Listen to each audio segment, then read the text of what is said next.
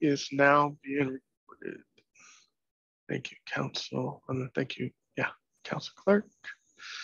Uh, Councilman Ferguson, would you do the invocation, please? Good evening, everyone. Father God, we just give you the glory and the honor, and we thank you for another day that we have never seen before. We thank you for your protection, your guidance, your love, your goodness, and your mercy. We ask for your direction, your wisdom, and your guidance in this meeting. We ask this in Jesus' name. Amen. Amen. Madam Clerk, could you do the roll call, please? Sure. Councilwoman Jones, Here. Councilman Harry, Here. Councilman Hairston, Here. Council, Councilwoman Guillaume, Here. Councilwoman Fareed, Here. Vice President Ferguson, Here, President Curtis, Here. Robert Quorum. Okay, uh, is there a motion to adopt the agenda? So moved. Moved by Ms. Guillaume, second. Second. Second by Ms. Jones. Any discussion? Uh, yes, Mr. President. Um, Councilman, yeah, there's a couple of pieces of legislation, a couple of pieces of legislation that I wanted to discuss tonight that we looked at previously because I wanted to um, had a good chance to look it over, so I wanted to add them to the agenda. Um, and what were those? There's R thirty-four, uh, a resolution to establish charter review process, and R thirty-five, a resolution to promote financial literacy.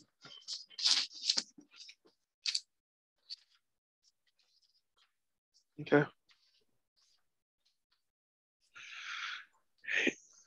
Any other discussion? Count, oh, Councilwoman Fareed, is that your hand? Yes, I would like to add um, two topics of discussion. One, um, post-meeting actions, and a second, um, citizen engagement.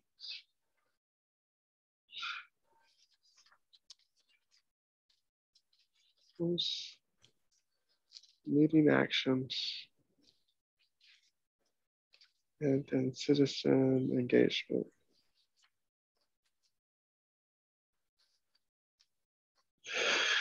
All right, any other discussion? Okay, uh, the vote is to pass the uh, current agenda with four additions. R34, R35, uh, post-meeting activities and citizens engagement. Uh, Madam Clerk.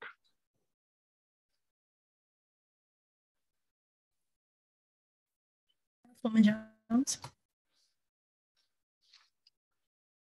This is to vote for the agenda? yes, ma'am. Yes. Yes, thank you. Councilman Harry, Yes. Councilman Harrison? Yes. Councilwoman Guillaume, Yes. Councilwoman Fareed, Yes. Vice President Ferguson, yes, President Curtis. Yes. We have seven. This is passed. Okay. Um, so in the uh, agenda, just for the council's uh, awareness that we have work session May 2nd minutes, regular session May 9th minutes, and public hearing May 17th minutes, ready for your review that we'll be uh, voting on at the regular session at the end of this month. So uh, topics of discussion. First up is NA and AA meetings. Uh, Councilman Hairston.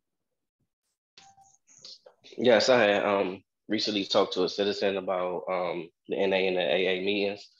Um, they were saying that they've been calling up um, to the gold room. I guess somebody told them that the gold room was going through some maintenance or something like that, and he couldn't. Um, they they weren't able to access it to have their meetings, and I believe that we had a, a discussion about this before, um, but they were open to using the nutrition center, and I believe it's a program that we had before we was all council members.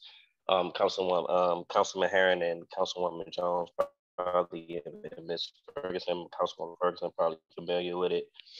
But they basically just want to see if they can um, have their meetings again in the nutrition center. Okay.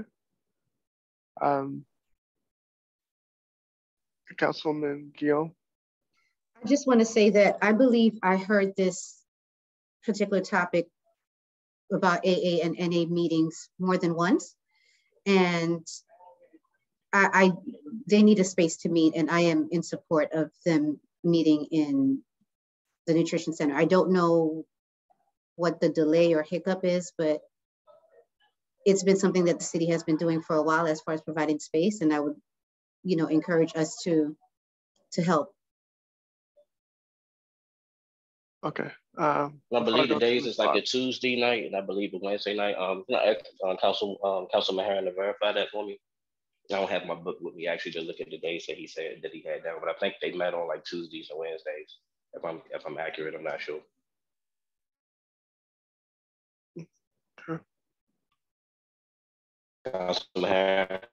Yeah, I think it's Tuesday, Thursdays. Tuesday, Thursday. I think it's Tuesday, Thursdays. Thursdays. I, think they, I think they might have one and might have met on Mondays. I think Monday, Tuesdays, and Thursdays. Oh, okay.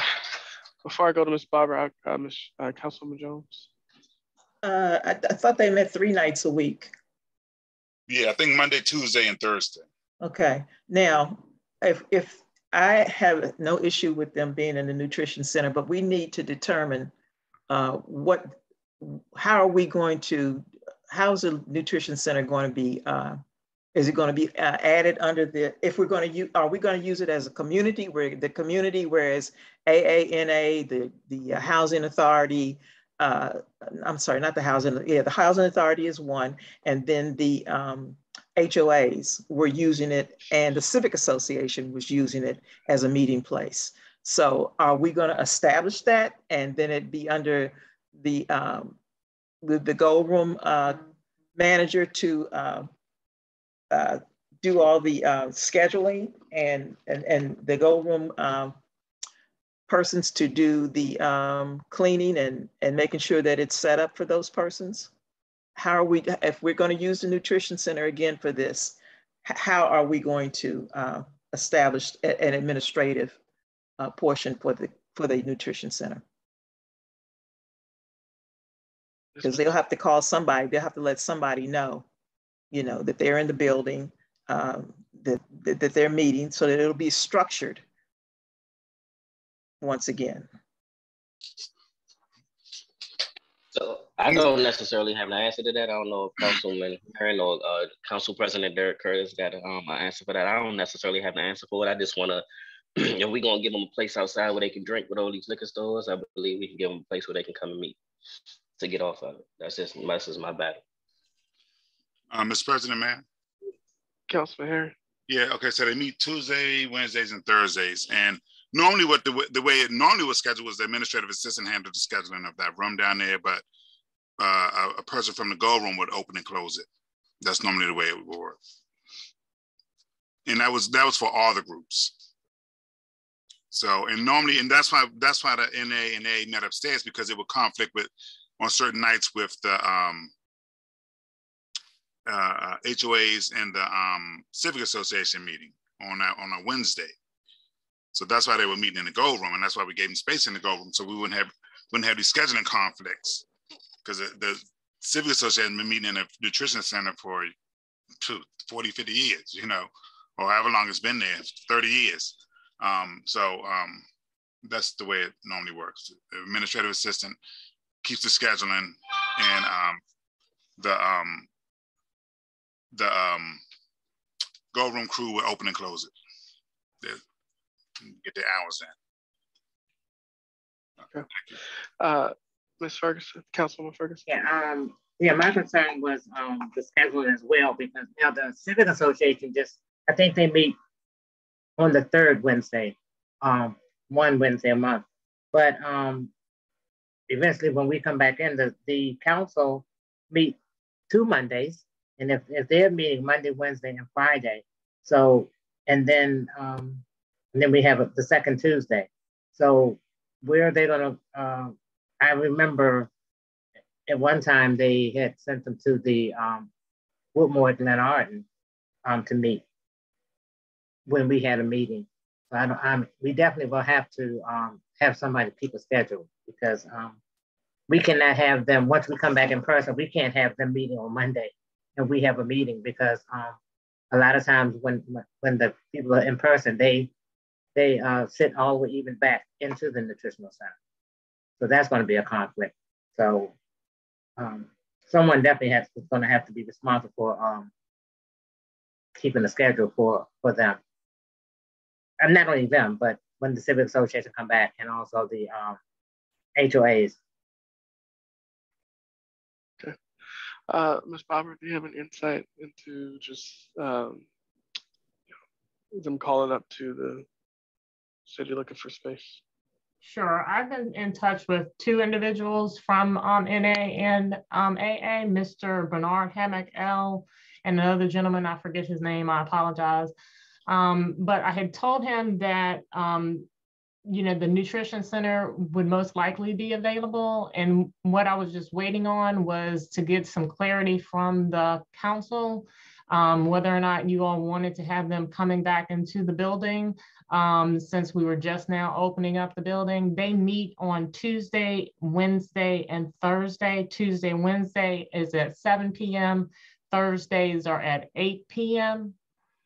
And the only um, hiccup really is previously, I think there was a, a gentleman, I think his name was Taj, that let them in the building previously um, from the Gold Room crew member.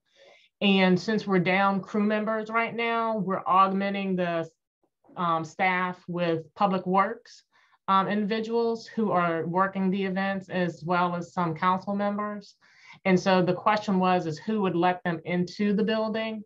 Um, and where, where would those costs, those associated costs be charged to? Because the nutrition center does not have a line item associated with it.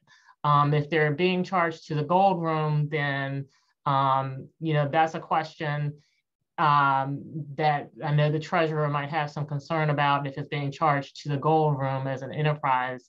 Um, but if there was a council member or someone who was sponsoring them, I had indicated, you know, that might be the best case. If a council member could let them in, then it wouldn't be any other costs associated with it.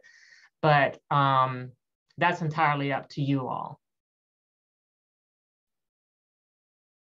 I have a question. The um, the the community center at Woodmore, isn't there a lockbox that people can let themselves in? There is. Is that it? I, There's not. Oh, okay. I don't Um, think so. um, As far as I know, there's a key. Yeah, those are. Oh, keys. okay. Okay. Sorry. Got confused there. I apologize. um,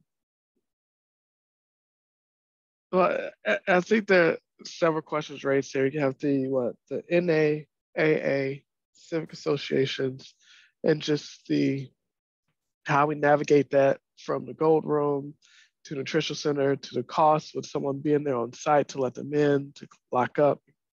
I mean, it sounds like there's multiple components uh, to this, uh, but the with the end goal of making sure that um, we're providing space for uh, community events that's very helpful to our citizens.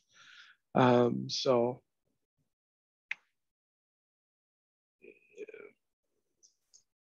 Ms. Barber, if if you and um, Ms. Jessica can uh, come up with a plan, uh, connect with, I'm sorry, who, what civic associations are are wanting to come back? Have, have any civic associations reached out to you guys? No. Um, or is this only, just historic? Um, there's only one group that had reached out to us, and I think Councilman Herring is a member of them. Yeah, the Glen Woods Neighborhood Association. Yeah. And I, and I think that the Civic Association actually reached out, but they were told that they did, they couldn't come into the building or something like that. a while back before you got here, uh, Ms. Bond. Oh, okay. Before you got here. Yeah. I can check with, with them. So, you know, Ms. Roberts, you could take the lead on that, just saying, you know, basically who wants to come, um, what does it look like across the community spaces that we have, um, and come up with the, uh, you know, I guess that matrix, and then provide it to the council so that we could see what we want to do. Because I mean, at this point, you know, we do have meetings on Tuesdays uh, in the Nutrition Center. It's part of the council chambers. If you open it up, uh, we could very well have a meeting on a Wednesday or Thursday. So it's, it's more involved. Um, but any ideas on how we could um, move forward in the meantime with NA and AA?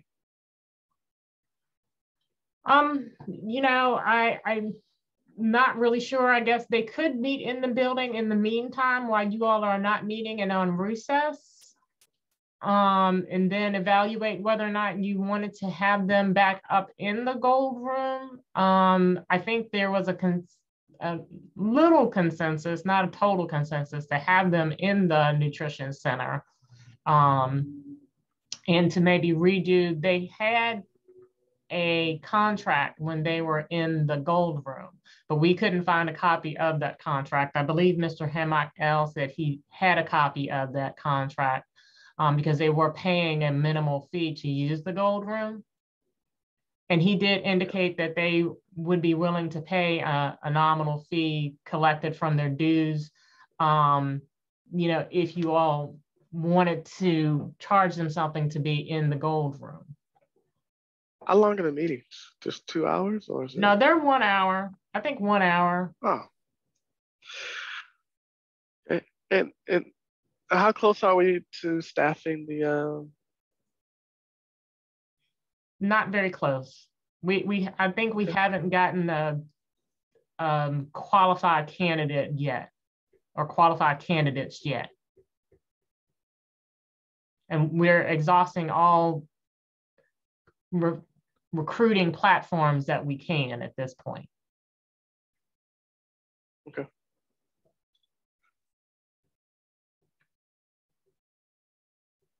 But I can take the lead on this and get a matrix back to you all. Um, would you like to have that by next week? I personally yeah, like to have it sooner than later. Honestly, mm -hmm. they need to start meeting. They need to come back in person. Okay.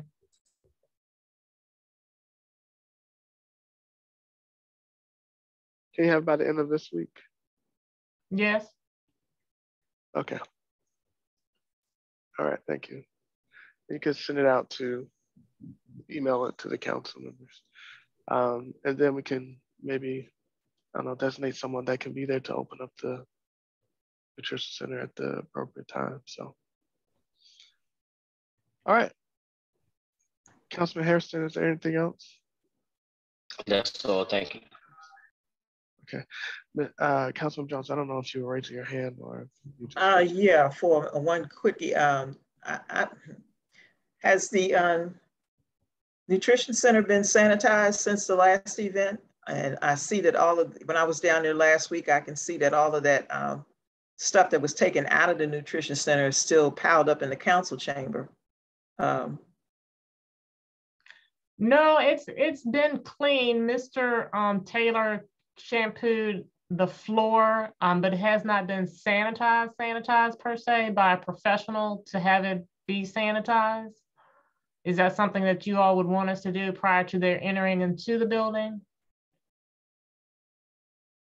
I think the room should be cleaned. It, it should be cleaned up. Anything in there that's not necessarily uh, usable should either be determined whether it's junk and put into the the the, the uh, dumpster or determine whether the city, the city can put it on their surplus list to be sold uh, and, and get the room cleaned up. The window sills in there, that they need to be, um, you know, it just needs a thorough cleaning where somebody comes in and just cleans everything. Not, when they, before they even shampoo the rug again, I would have cleaned all those window sills out.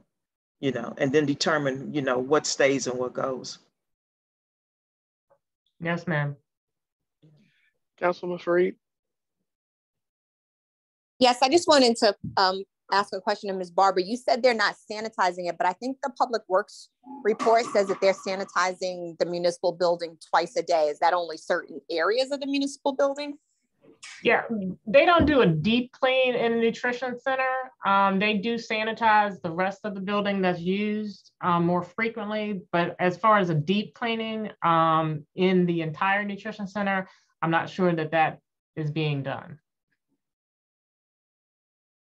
So sanitizing, just spraying the door handles, is that, what you determine as sanitizing? No, they do more than spraying the door handles. Um, I would have to get with Mr. Um, Taylor on the specifics of what they do. Um, they do, you know, all the restrooms twice a day. They do all the handles and all that kind of stuff with the high touch areas and things like that. But I can get a more clear picture for you all um, tomorrow and let you know exactly what that means and how or if the nutrition center is being included in that. Thank you. Okay. All right. Um, next is lanes. Uh, Councilman Harrison. Okay. So with this one, this one, this another um, you know, citizen concern down on Barlow Road they were suggesting um, a lane because they was informing me that when they driving down, they be getting ran off the road. I'm not sure if you know you guys are familiar with Barlow Road and it's just like one lane. I mean, it's just an open street. So um, I'm just bringing that to you guys' attention and it's just open for discussion. I just bringing that to you, you know, to y'all attention. See what you think. Um, Mr. Mr. Uh, President, man. Yes. Councilman Harrison. I mean, so, Councilman Harris. Sorry. So, um, Councilman Harrison, are you so are you suggesting uh, what striping? Striping, yeah. Uh, well, I'm not suggesting striping. I'm yeah. I'm just asking you guys what it, what, what would you think? Like, what you think it would look like? I'm not sure if it's something feasible or not. It was just a concern, so I was just bringing it. So you're not suggesting striping? No, nah, I'm not really suggesting that. I'm just, uh, I'm, this is open. Okay, so you suggest I mean, striping? I mean, um, what's the what's the, what's the issue? What they they have now? When I ride down it, I just ride down it. I don't. I, there are no lines for me to stay on on either side of the road. On left or right. Yeah. So you're suggesting we put striping down there and striping at the front by the light.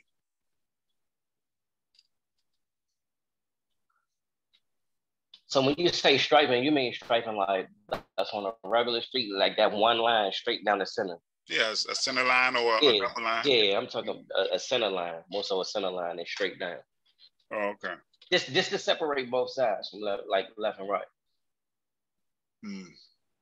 How far down do they want it? All the way down to the end? They didn't even really say. They just saying, man, they be running me off the road. I said, okay, well, let's go put a six foot stripe there and then be then they're satisfied.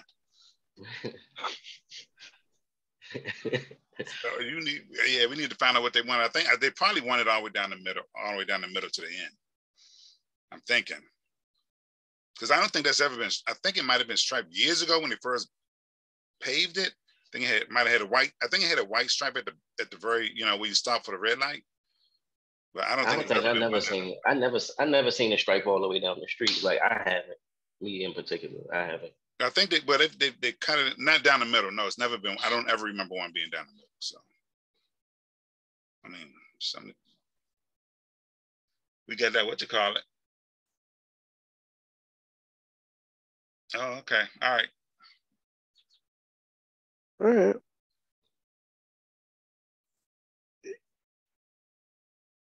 Any other comments from council members? Ms. Barber, have you taken um, can't you at the very least have, um, think,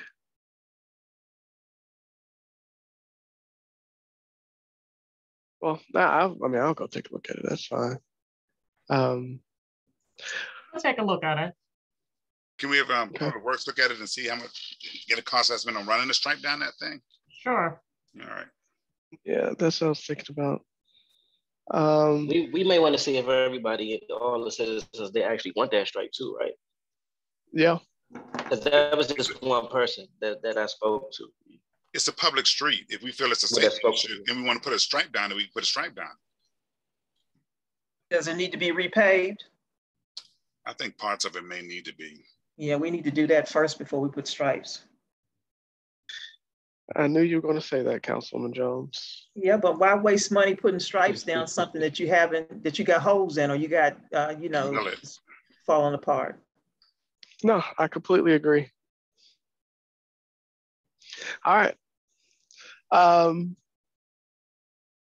next up is the, uh, I don't think we ever came to an agreement on this. Uh, uh, Ms. Barbara, did you want to, you know, expound on the good trash CPI adjustment for $16,000? Yes, so um, hopefully you'll recall that back in May, we received a notification from CGI Residential Incorporated or Good Trash um, Removal Service that they were requesting the CPI adjustment that is uh, set forth in the contract. Um, they were requesting a retroactive repayment of 3.8% for the May 1st, 2021 to April 30th, 2022 um, year. And that came to a total of $16,165.80. Um, this was in conjunction with the discussion about moving forward with the three month um, increased um, amount for the period of May, June, and July, um, but separate uh, at the same time. So hopefully that makes sense, and I'll answer any other questions as you may have them.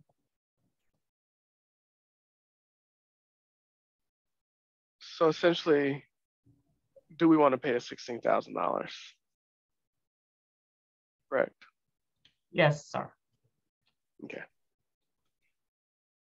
Mr. Councilwoman Jones? It's a part of their contract. We have to pay it, I think. It is part of the contract. Yes, it is part of the contract. So that's something that we, you know, that the city agreed when they assigned the contract with them. So maybe that's something we need to look at with the next contract if with, with whoever we decide um, to take on as the trash company, uh, if that uh, option is in there, but in their contract, that is in their contract. Mr. President, Mayor.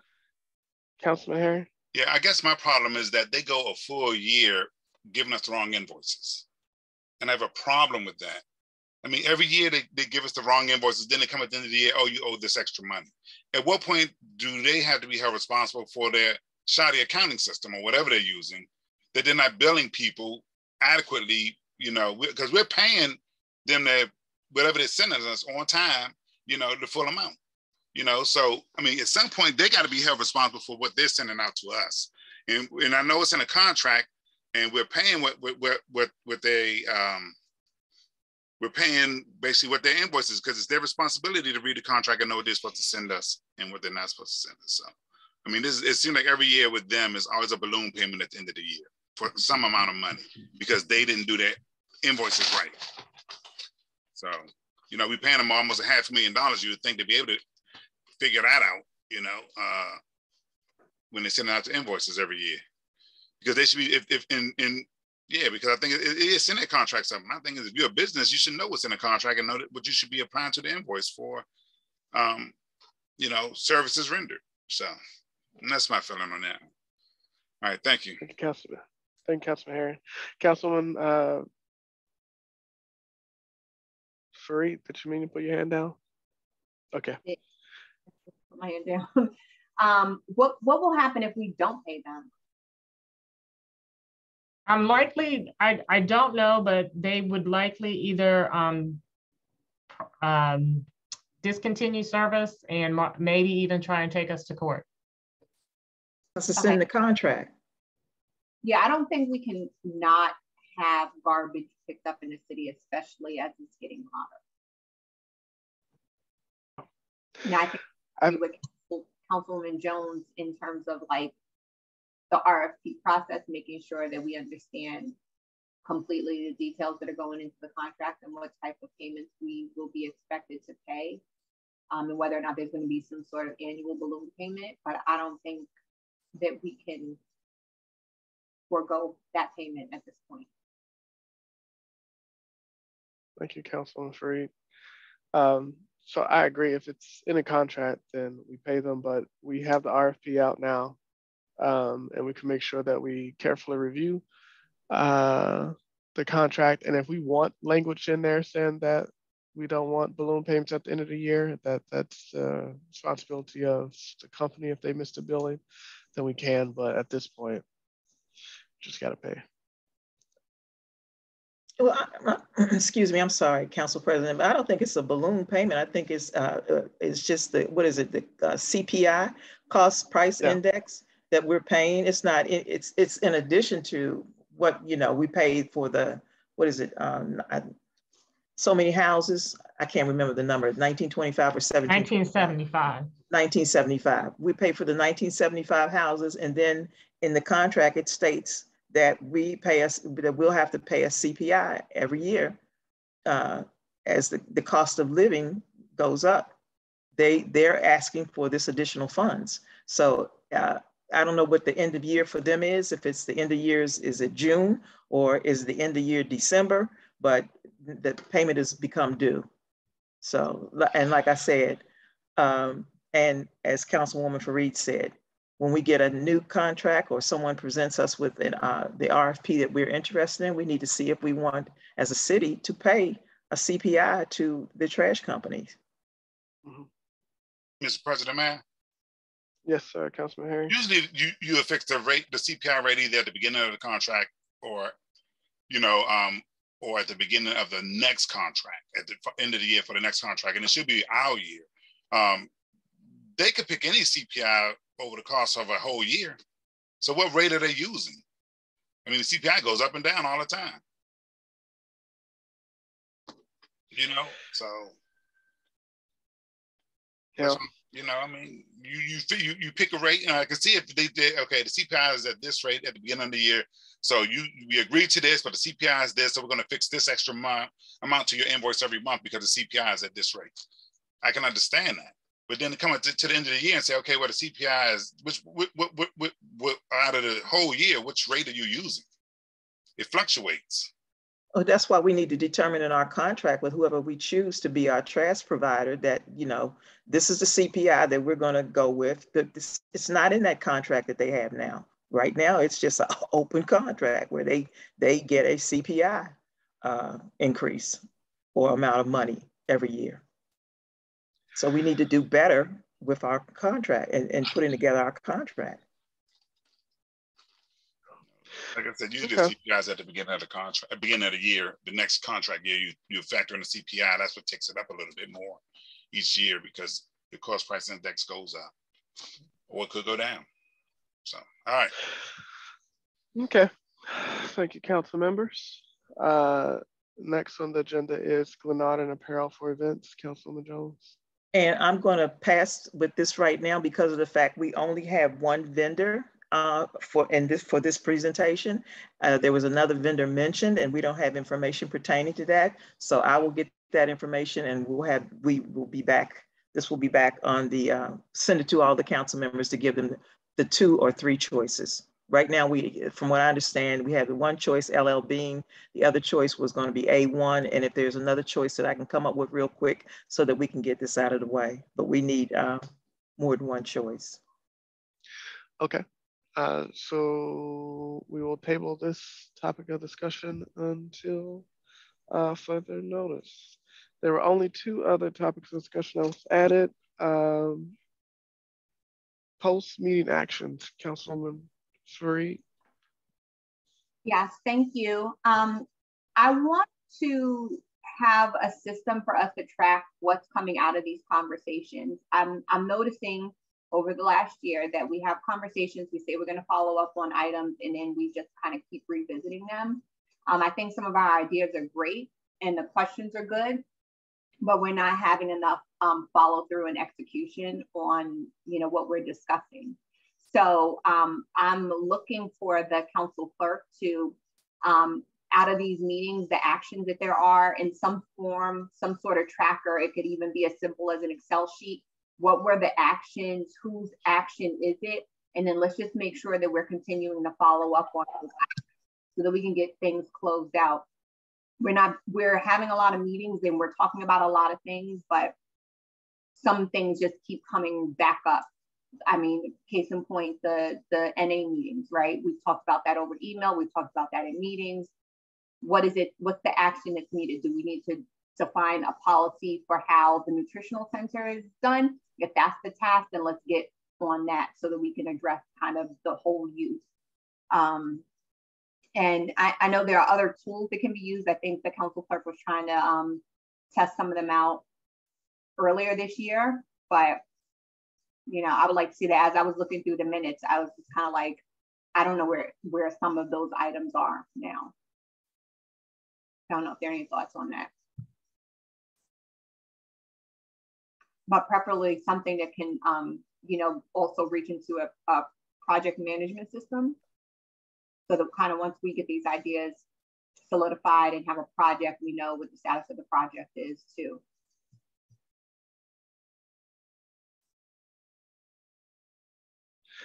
Okay. Any other comments by council members? Council Clerk, do you have all of that? Yes, sir. I have it. All right. Mm -hmm. Councilman Fareed, uh, if that's all on that, uh, citizen engagement. Right. And so this is actually an add-on to that first point. Um, we need to get citizens more engaged. And if that means we need to have more committees to take action on certain items, then we need to do that. So as an example, traffic mitigation is something that we've been talking about this entire term, right? Um, but we don't really have a solid plan of what we're going to do. If, if it's because we don't have enough resources internally to do that, then we need to put a traffic safety task force together and really get um, citizens engaged in this. There are a lot of issues that the citizens continue to raise around, you know, the beautification, right? If we have a, a challenge with public works and we need a plan put in place, then you know we we can lean on the resources that we have in our city. There are citizens who are able and willing. Um, I think we just need to figure out ways to organize ourselves so that we can, you know, provide clear tasks for them to help us, you know, what what we're trying to accomplish. So I would, um, and I know we kind of talked about this a little bit, having some sort of strategy session where we're going to figure out what are the key areas that we want to focus on along with the mayor, and then putting plans of action in place with that with the city manager. And you know, is to the extent possible getting citizens engagement, you know, let's let's do that so we can get some more things done.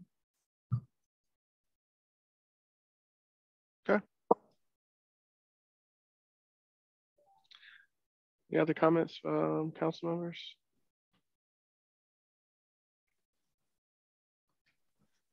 All right. That is it for topics of discussion. Now we'll move into legislation. Um, Council Clerk. Uh,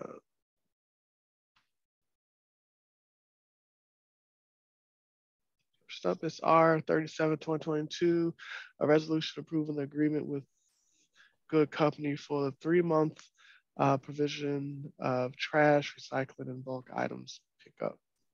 Item pickup. Madam Clerk.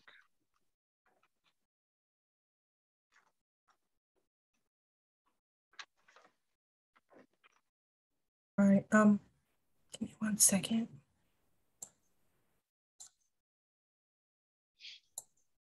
Okay.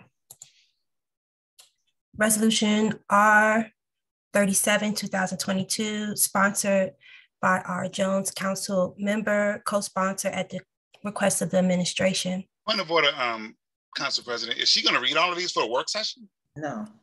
Oh, oh, okay. Uh, yeah, I mean, we don't need to read them. We need. To, I thought it was there, there for discussion. Let's just, just discuss it. Okay. No. All right. Well, if we don't want to read them, that's that's fine. Um, they'll they'll be read at the regular session. Yeah. Not at the okay. The regular session, they'll be read. Okay, well, um, any comments? Uh, every councilwoman, council member has this in their packet. Um, any questions, concerns regarding this piece of legislation? Yeah, um,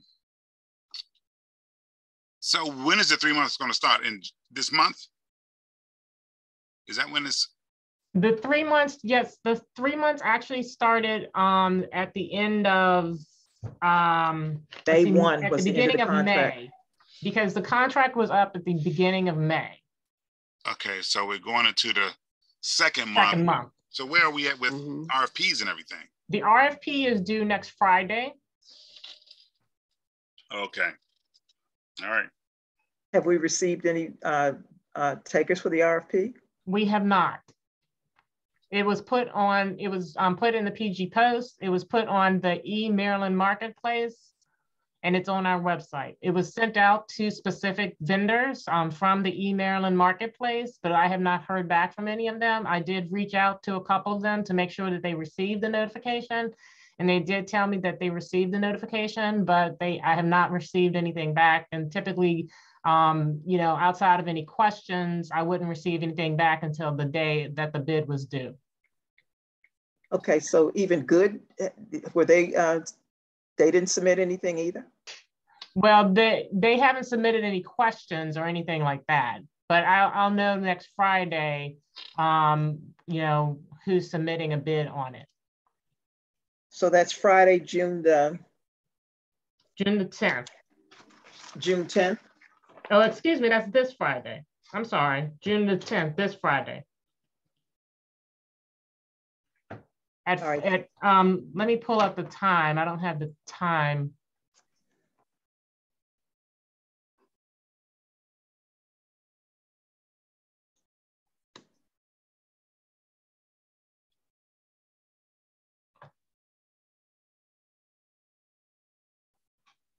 Just give me a quick second.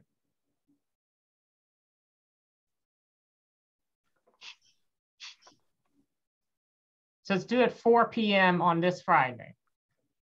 So Monday morning, we should have a, a, a idea of who submitted a uh, bid or not. Mm, I would say Monday by noon. Oh, Monday, oh, yes, Monday, yes. We'll, we'll know Monday when we're at um MML. I mean, we'll know Friday afternoon, but Oh, so Monday, you're gonna be at MML. yes.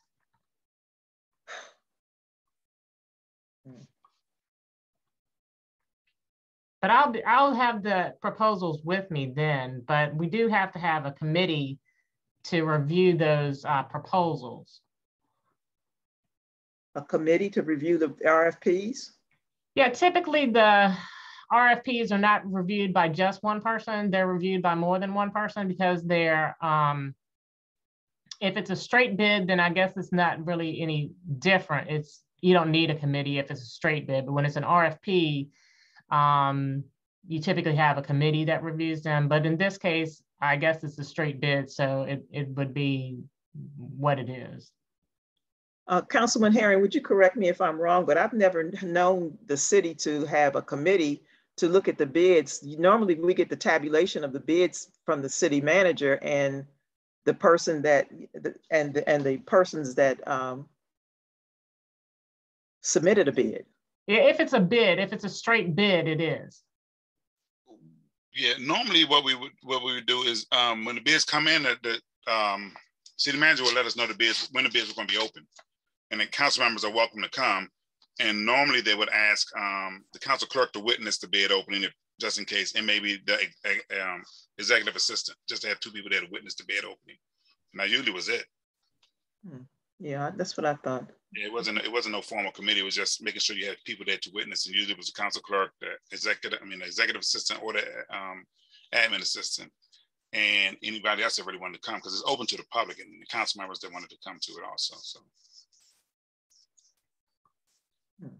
So if they don't come in till Friday at four o'clock is the, is the deadline, um, I'm sure they're not gonna open them uh, four to five, five o'clock, everybody's gone, then We do MML open them is, at four. We open them at four when they come in. oh, you open them at four. Yeah, okay. and then I put the list out um, of what the results are. I give it to Monet to post on the website, and then I can send that to you all Friday. Okay, so there's not going to, what I'm looking for that there will be no lag in time because of the fact that this is so crucial. This con this resolution that we're giving them three months is going to be up at the end of July. So Correct. we need to have in place a trash yes. company. Yes. Okay. All right, thank you.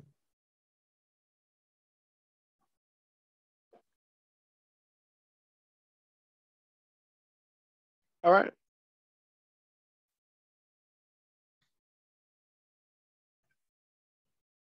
Next up is um, uh, resolution to select the city vice president. Um, we just collect these two together. A resolution to select the council president. Um, and I rely on the um, more tenure members because this will be my first year, you know, introducing or discussing anything like this. Is there anything else we need to do for this? And in a work session? Add or we're just, I'm sorry? Add the name. Okay. Uh, so we do it now and not at the regular session? Yeah, because that's what's going to come to the floor. Okay. All right. Um, for uh, citizens information, uh, and we could give it a resolution number, correct? Uh, yes. Okay. Madam Clerk, could you give these to, um, we could start with Vice President. What's the number for that? The number for Vice President is R42 2022. And so that'll make the President 43. Mm-hmm. And so the um, Vice President will be Vice President Ferguson, and the President will be uh, myself. Noted. Thank you. Okay. Thank you. Uh, next up, uh, a resolution authorizing the City Council of Glenarden, Maryland to break for recess. Uh, any comments, concerns from council members as relates to this resolution? I'll just mention, uh, just for citizens who's watching, that even if um, council goes into recess, council still has the ability to meet uh, and um, if necessary. In particular, right now, as we're in budget season, uh, even if we go into recess, we can still meet to pass a budget. Uh, but any council members' comments on this um, resolution? And also, Madam Clerk, could you assign it? I guess this would be 44. Okay, uh, resolution R forty-four, two thousand twenty-two will be a resolution authorizing the city council of Glenarden, Maryland to break for recess. Any comments, concerns? Okay. Moving on to the next one. Uh, next up is a resolution to appoint Roland Mincy to the Glenarden Youth Advisory.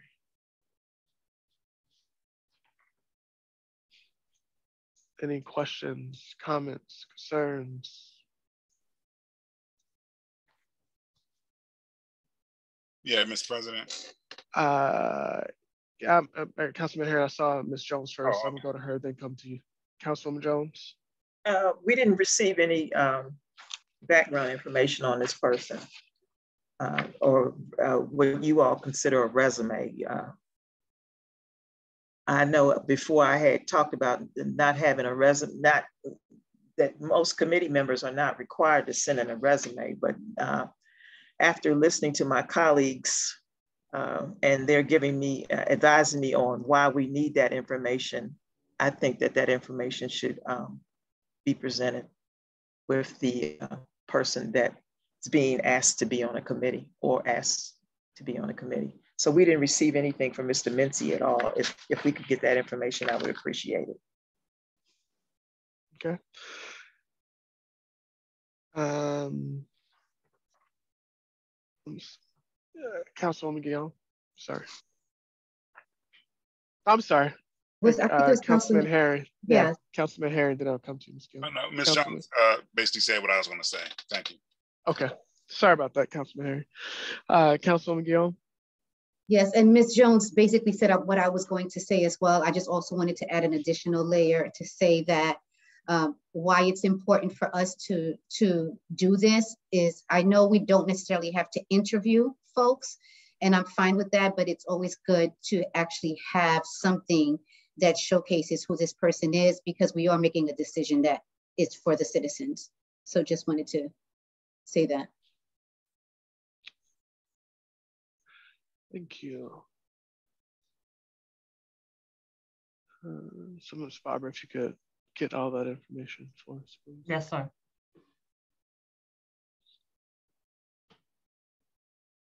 Any other questions? All right.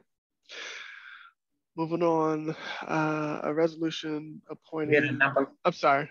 Thank you, Councilwoman Ferguson, a number for that. Um, Sorry.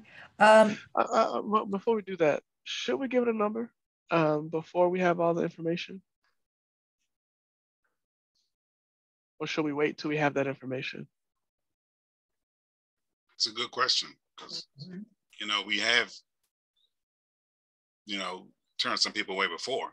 We can wait. Okay, Yeah, I was gonna say the same. I think we should wait until we get the material, the required, required or requested materials. okay. All right, let's hold on that, Madam Clerk. Sorry about that. Uh, next up is a resolution appointing Paul Michael Braxton to the Ethics Committee.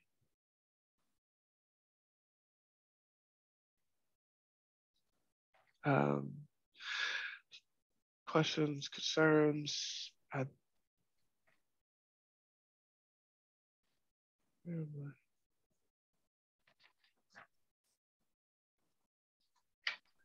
I? And Madam Clerk, if you could stop sharing, I'm gonna go through these next ones rather quickly so I can see if um, someone's raising their hand. Um, do we have all the, um, I'm sorry, Councilman Fareed? You could, you finish, finish what you're asking. Uh, just with all these, making sure we have the information that we just discussed um, for for all of them because we have one more after this. That's all I was going to say. My, my question is about how are we getting these names? Um, are we sending out a communication to the community asking for people to volunteer? I'm just wondering, because it seems like we're doing this in piecemeal, like this youth advisory committee. We, like, they don't have enough people to operate even as a committee yet, right? Like, I'm not sure why we're not just doing this all at once. If we put somebody on, their, their term starts already, right? No, their term hasn't started. When, when would their term start, Ms. Um? When they have a complete, they need five. It can't be active until they have the, um, the number of committee members. Mhm. So I'm wondering why, like, how we're doing this. I, I don't know if it's just based off of recommendations or if we're sending out a solicitation to the citizens to say, hey, if you're interested in being on the Youth Advisory Council, submit your application, your resume, so that we could get this done. I mean, we, we've been a whole year already.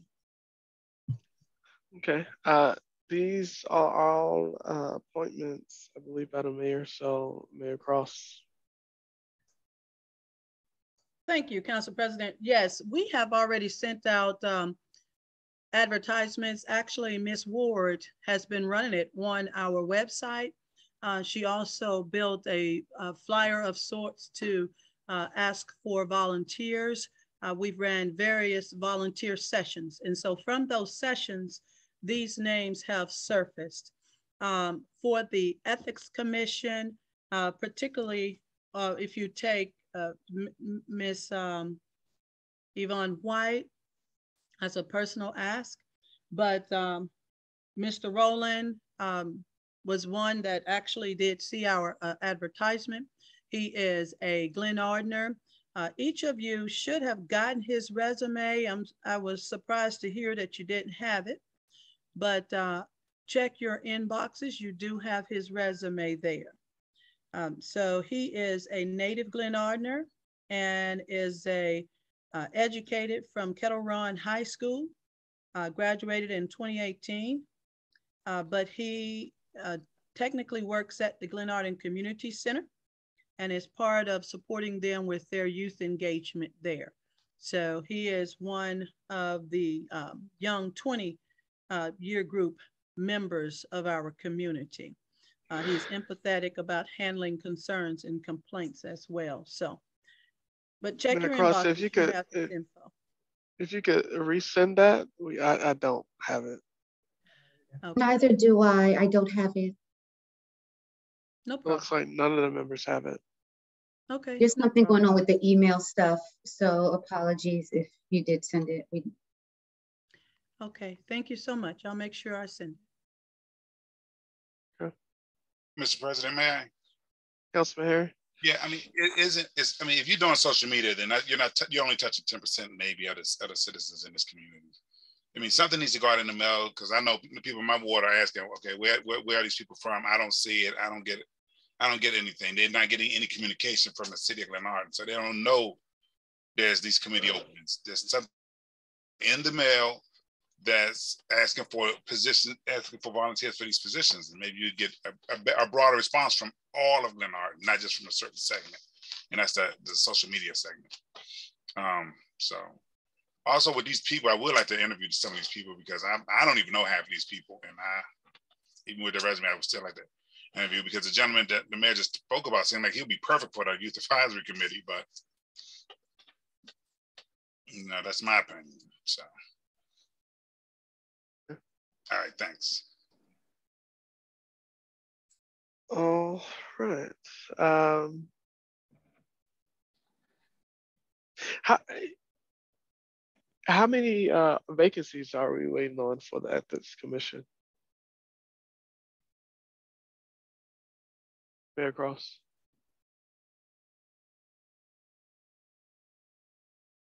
Three. So you're waiting on three vacancies.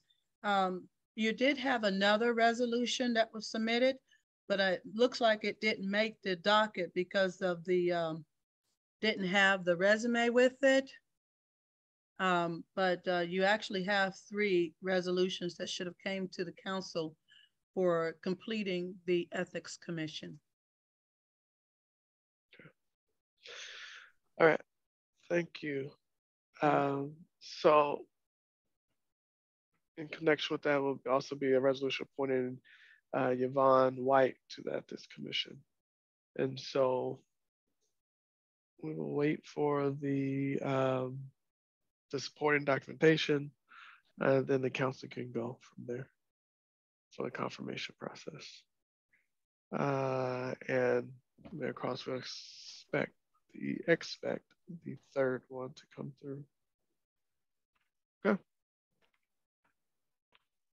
Council President. Uh, Mayor, Mayor Cross, um, uh, Councilman Jones. No, um, okay, uh, so I'm not clear here.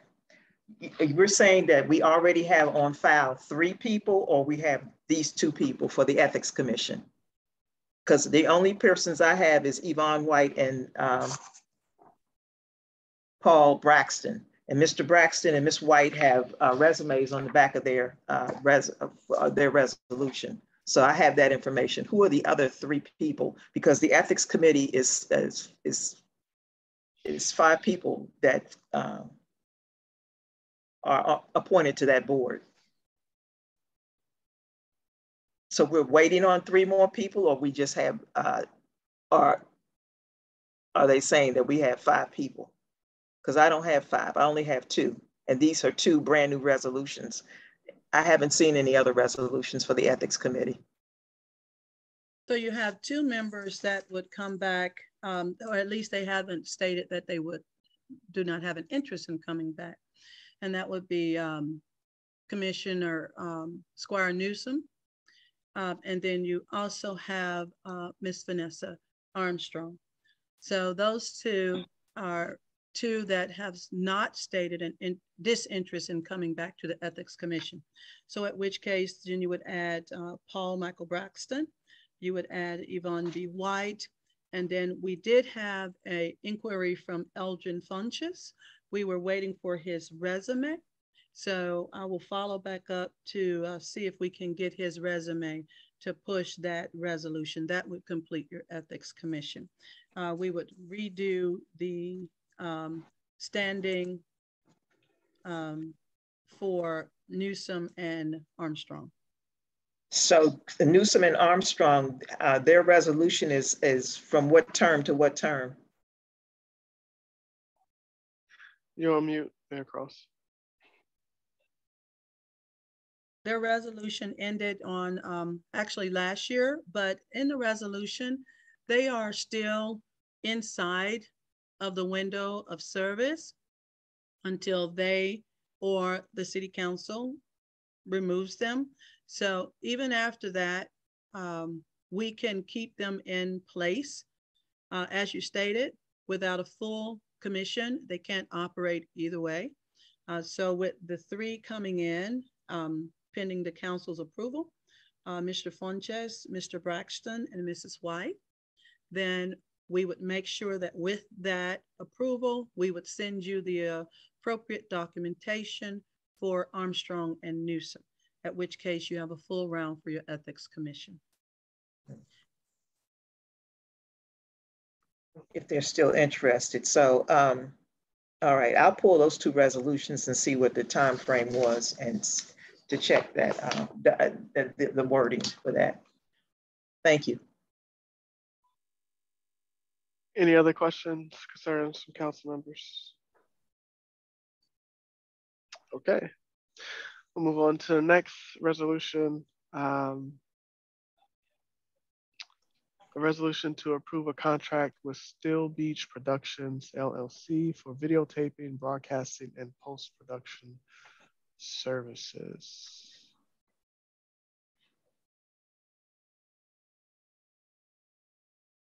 Any questions? This was at the request of the administration. Any I have a question, Council President. Yes, Council. When I was when I was flipping through the documents that were sent for this Still Beach, I found uh, the two there were two other people that were that, that presented a bid, Travis Smith and uh, Marcella Shepard.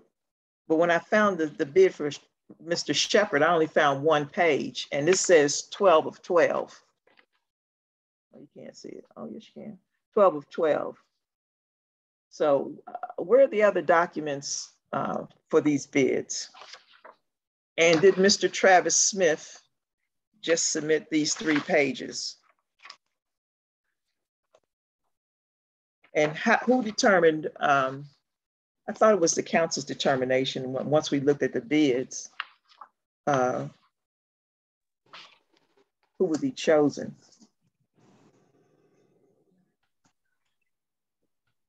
So um, I came in on the middle part of the um, project. The mayor and the um, webmaster and media specialist had been working, and the executive assistant had been working with the um, firms that were going to be brought in for the um, videotaping um, and post production services as a consultant.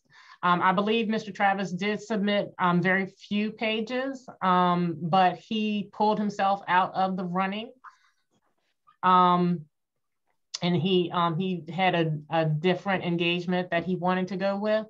So Mr. Um, Rick Gray is the owner of Still Beach Productions.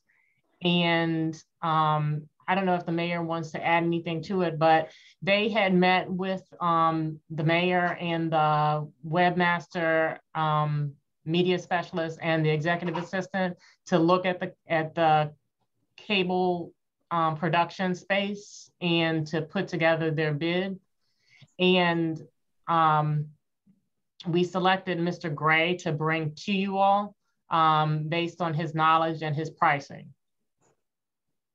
Okay, the other thing that I didn't particularly care about in his contract or that was that's been written is it's saying that he'll bring his own equipment. I thought as a um, having our own cable TV station, what we need is somebody that's going to come in and upgrade all of the equipment. And um, we would we have enough in our uh, PEG grant, public education grant, that will afford us to buy the equipment and upgrade our TV studio. Right. Um, I think that the majority of the equipment that he would bring, um, that would be his own equipment, would be equipment to do outside um, tapings and things like that. Like if you all wanted to tape the Glenarden Day and do post production on that type of thing, not production in-house. The in-house production would be evaluating what equipment that we have currently and whether or not that equipment should be um, upgraded. All right. I, I, just didn't want to bring somebody in that was not going to upgrade our TV studio. Up. So, um, because that definitely needs to be done. It needs to be brought into the 21st century. Correct. Thank you. Are there any other questions or concerns from uh, the council? Uh, yes, Mr. President. Councilman Harris. There's a couple of things on um, page two of the contract, consultant agreement. Um, item number F, where it's, it's um, outlining um, some of his responsibilities. Um, number F says other related media, filming, and broadcasting tasks delegated to the city, delegated by the city manager or the mayor of Glenarden. And I think you need to add the city council on that too, because we do have events that we would like to have recorded also. Okay. Um, I guess uh, my confusion is coming in also on page on page three. The second paragraph for additional services shall be provided by the consultant on an as needed basis. Um, and it says $450 per event for a maximum of two events per month and no more than $900 per month. But when you go to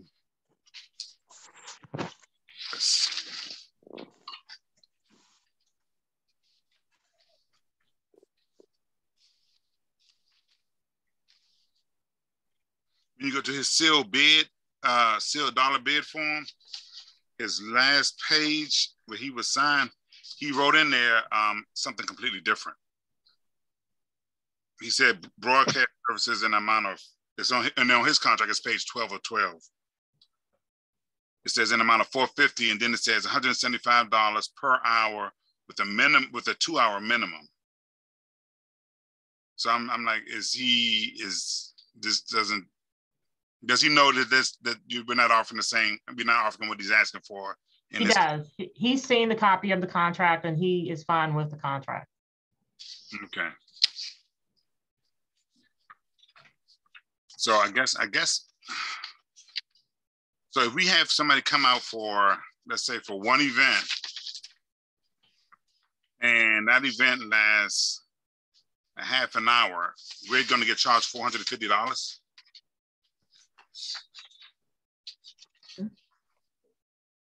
Uh,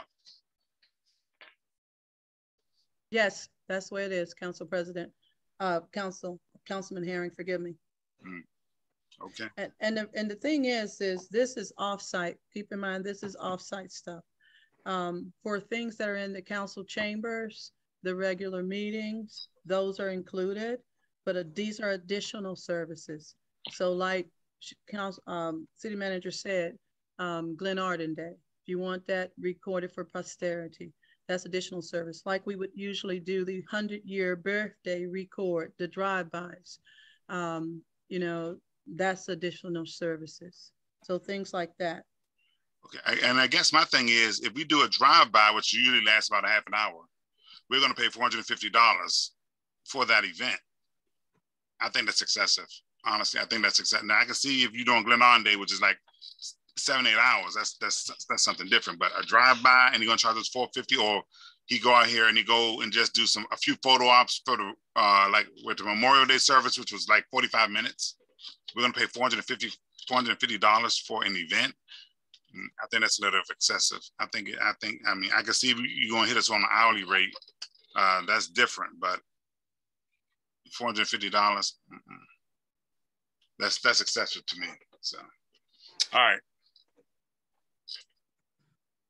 Thank you, Councilor Harris. Any other questions, comments, concerns? No, that's it for me. Thanks. All right.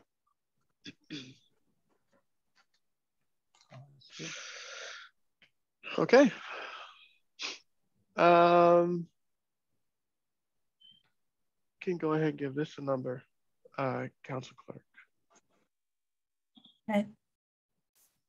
So, uh, so the number would be R45 2022. And again, this is a resolution to approve a contract with Steel Beach Production LLC for videotape and broadcasting and post-production services.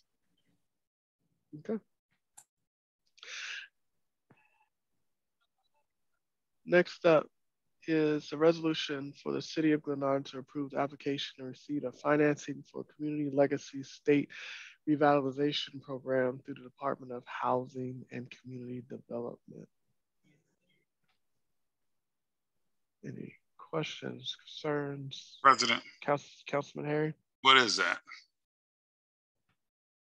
So this um, is a grant um, that's offered through DHCD because we are a member of the Sustainable Communities through DHCD. You all had applied for that designation a number of years ago and it's good for five years.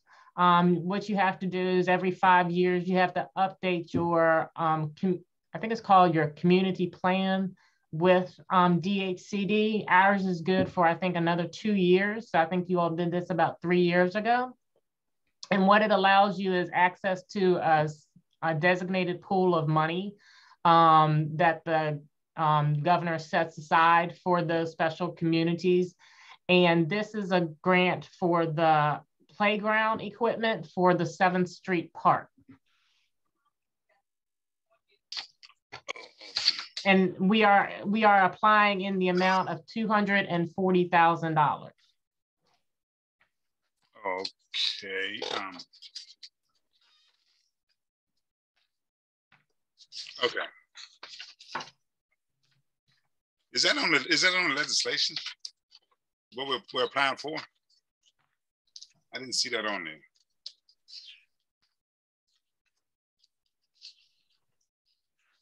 Are you talking about the, the grant in particular? Yeah, I mean, I mean, I know we're applying for it, but you, I think, I mean, there's nothing on here to indicate, you know, that we're applying for this grant for Seventh Street Park or what it, you know, I mean, I see the two hundred forty thousand dollars, but I think you need to put some some type of wording in here that it's for Seventh Street Park. Okay. That's I mean that's what I, feel. Um, unless this is the wording that they require from them, from HUD, I mean um, housing or whatever that that is. But I think something should be in here that is for Seventh Street Park, so that we know that this that this this money is earmarked for Seventh Street Park and it doesn't go anywhere else.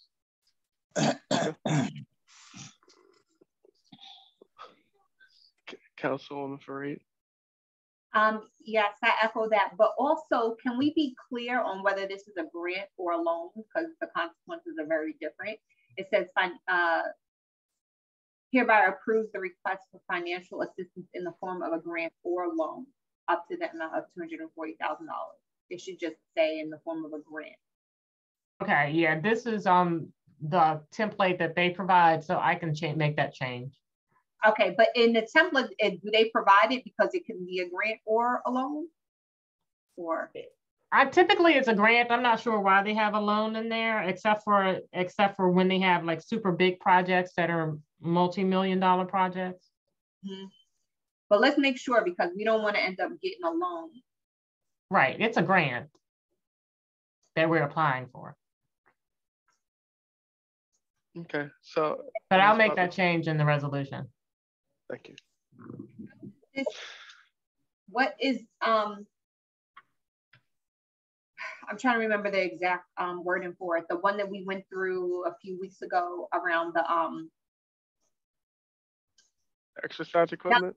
Yeah, the exercise equipment. How does that fit in with this? So it would be completely separate. This is for the actual playground equipment. Okay, yeah, so let's, you know, in addition to saying Seventh Street Park, let's say for the playground equipment in Seventh Street Park. Okay. Because I know there was a deficit um, with what was needed for the fitness equipment. And I just want to make sure this doesn't go towards that deficit, that this is for the playground.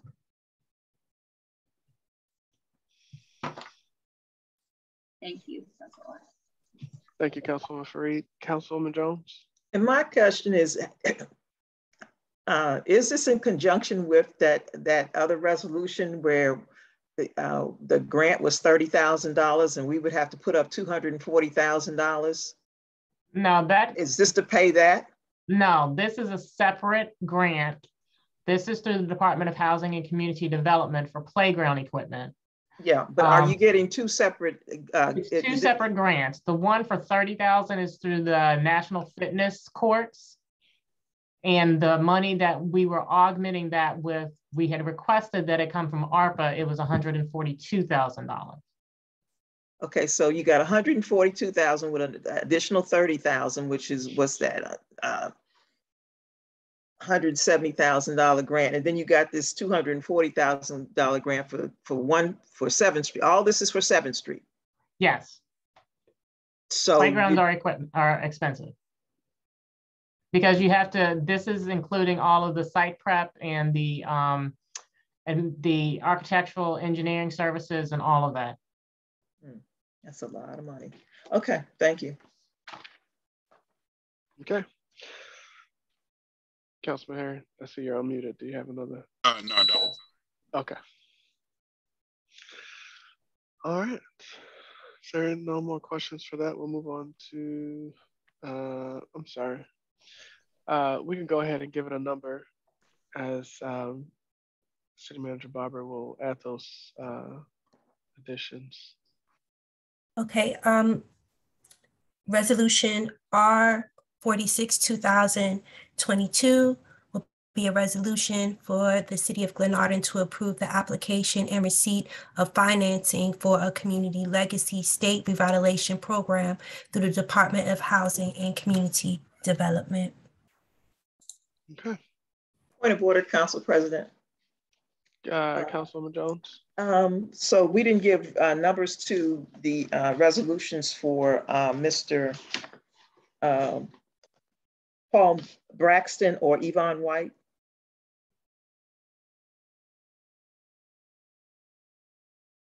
You're right. Um, because we do have their support and documentation. Um, this is commission. Okay. All right. Madam Clerk, could you give those two uh, a resolution number, please? Yes, sir. So let me go back up here. Resolution R forty-seven, two thousand twenty-two will be a resolution appointing Paul Michael Braxton to the Ethics Commission. Resolution number R forty-eight, two thousand twenty-two will be a resolution appointing Yvonne B. White to the Ethics Commission. Thank you for the reminder, Councilwoman Jones. You're welcome. And yeah, we're good. All right, next up is a resolution authorizing amusement rental for Glenarden Day.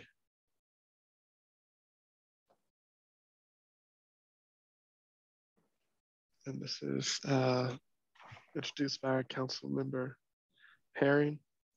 Yeah, Any questions? Yeah, go ahead. Just an on where we are because we have been planning Glenarden Day. We've been, um, we had a number of meetings already with the committee. Um, me, Councilwoman Guillaume, um, Councilman Harrison, and some, and uh, the council clerk, along with um, Michelle Cheeks and some citizen volunteers. So we're moving right along to get something planned. We're trying to do something really nice this year. So we um, contracted out with um, Fantasy World again for uh, amusement rides. Um, we're looking at um, bumper cars, uh, rock wall, obstacle course, laser tag, a kitty merry-go-round, and uh, what they call turbo tubs or something like that. Um, but we're just trying to, you know, since we're coming out of COVID and everything, we're trying to have a really nice one. Um, we've also reached out to a caterer that gave us a really good deal on giving out, um, like we usually feed the people with, with dinner and these we had like fish, chicken, and a bunch of sides, doing like $10 a head per person. So you're gonna cover us for 400 people.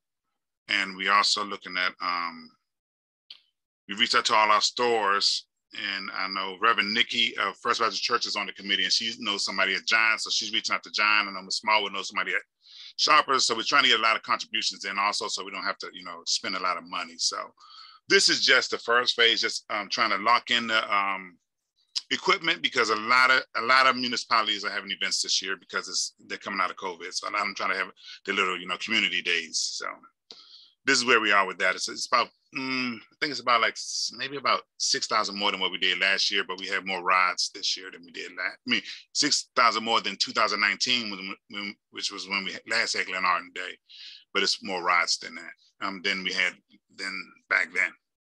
So any questions, I'm free to answer. Sounds like a carnival. Yep, that's what it's going to be. uh, Councilwoman uh, Guillaume. Thank you, Council President. I just wanted to add to what Councilman Herring stated, which is we have been getting, I mean, we, we get, we have our own planning committee, like he stated, and we have a slew of emails. And so if anything looks like it's too pricey or whatever, trust me when I say that everything has been vetted, you know, so just wanted to, to add that to the conversation. Thank you, Councilwoman Guillaume.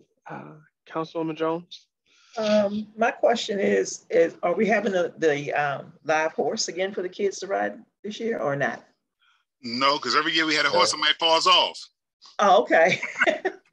Understood. Thank you. Falls off, we got to call that paramedics. yeah, my grandbaby.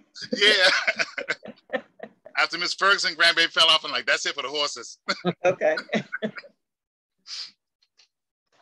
Okay. Uh, all right. Are there any other questions, concerns? Okay. I thank uh, thank you guys, all the uh, members who voluntary uh, to make this a successful event. Next up. Number. Yeah. Ah, thank you, Madam Clerk. Sure. Uh, resolution R49 2022 is a resolution to authorize amusement rentals for Glenarden Day. Okay. Okay.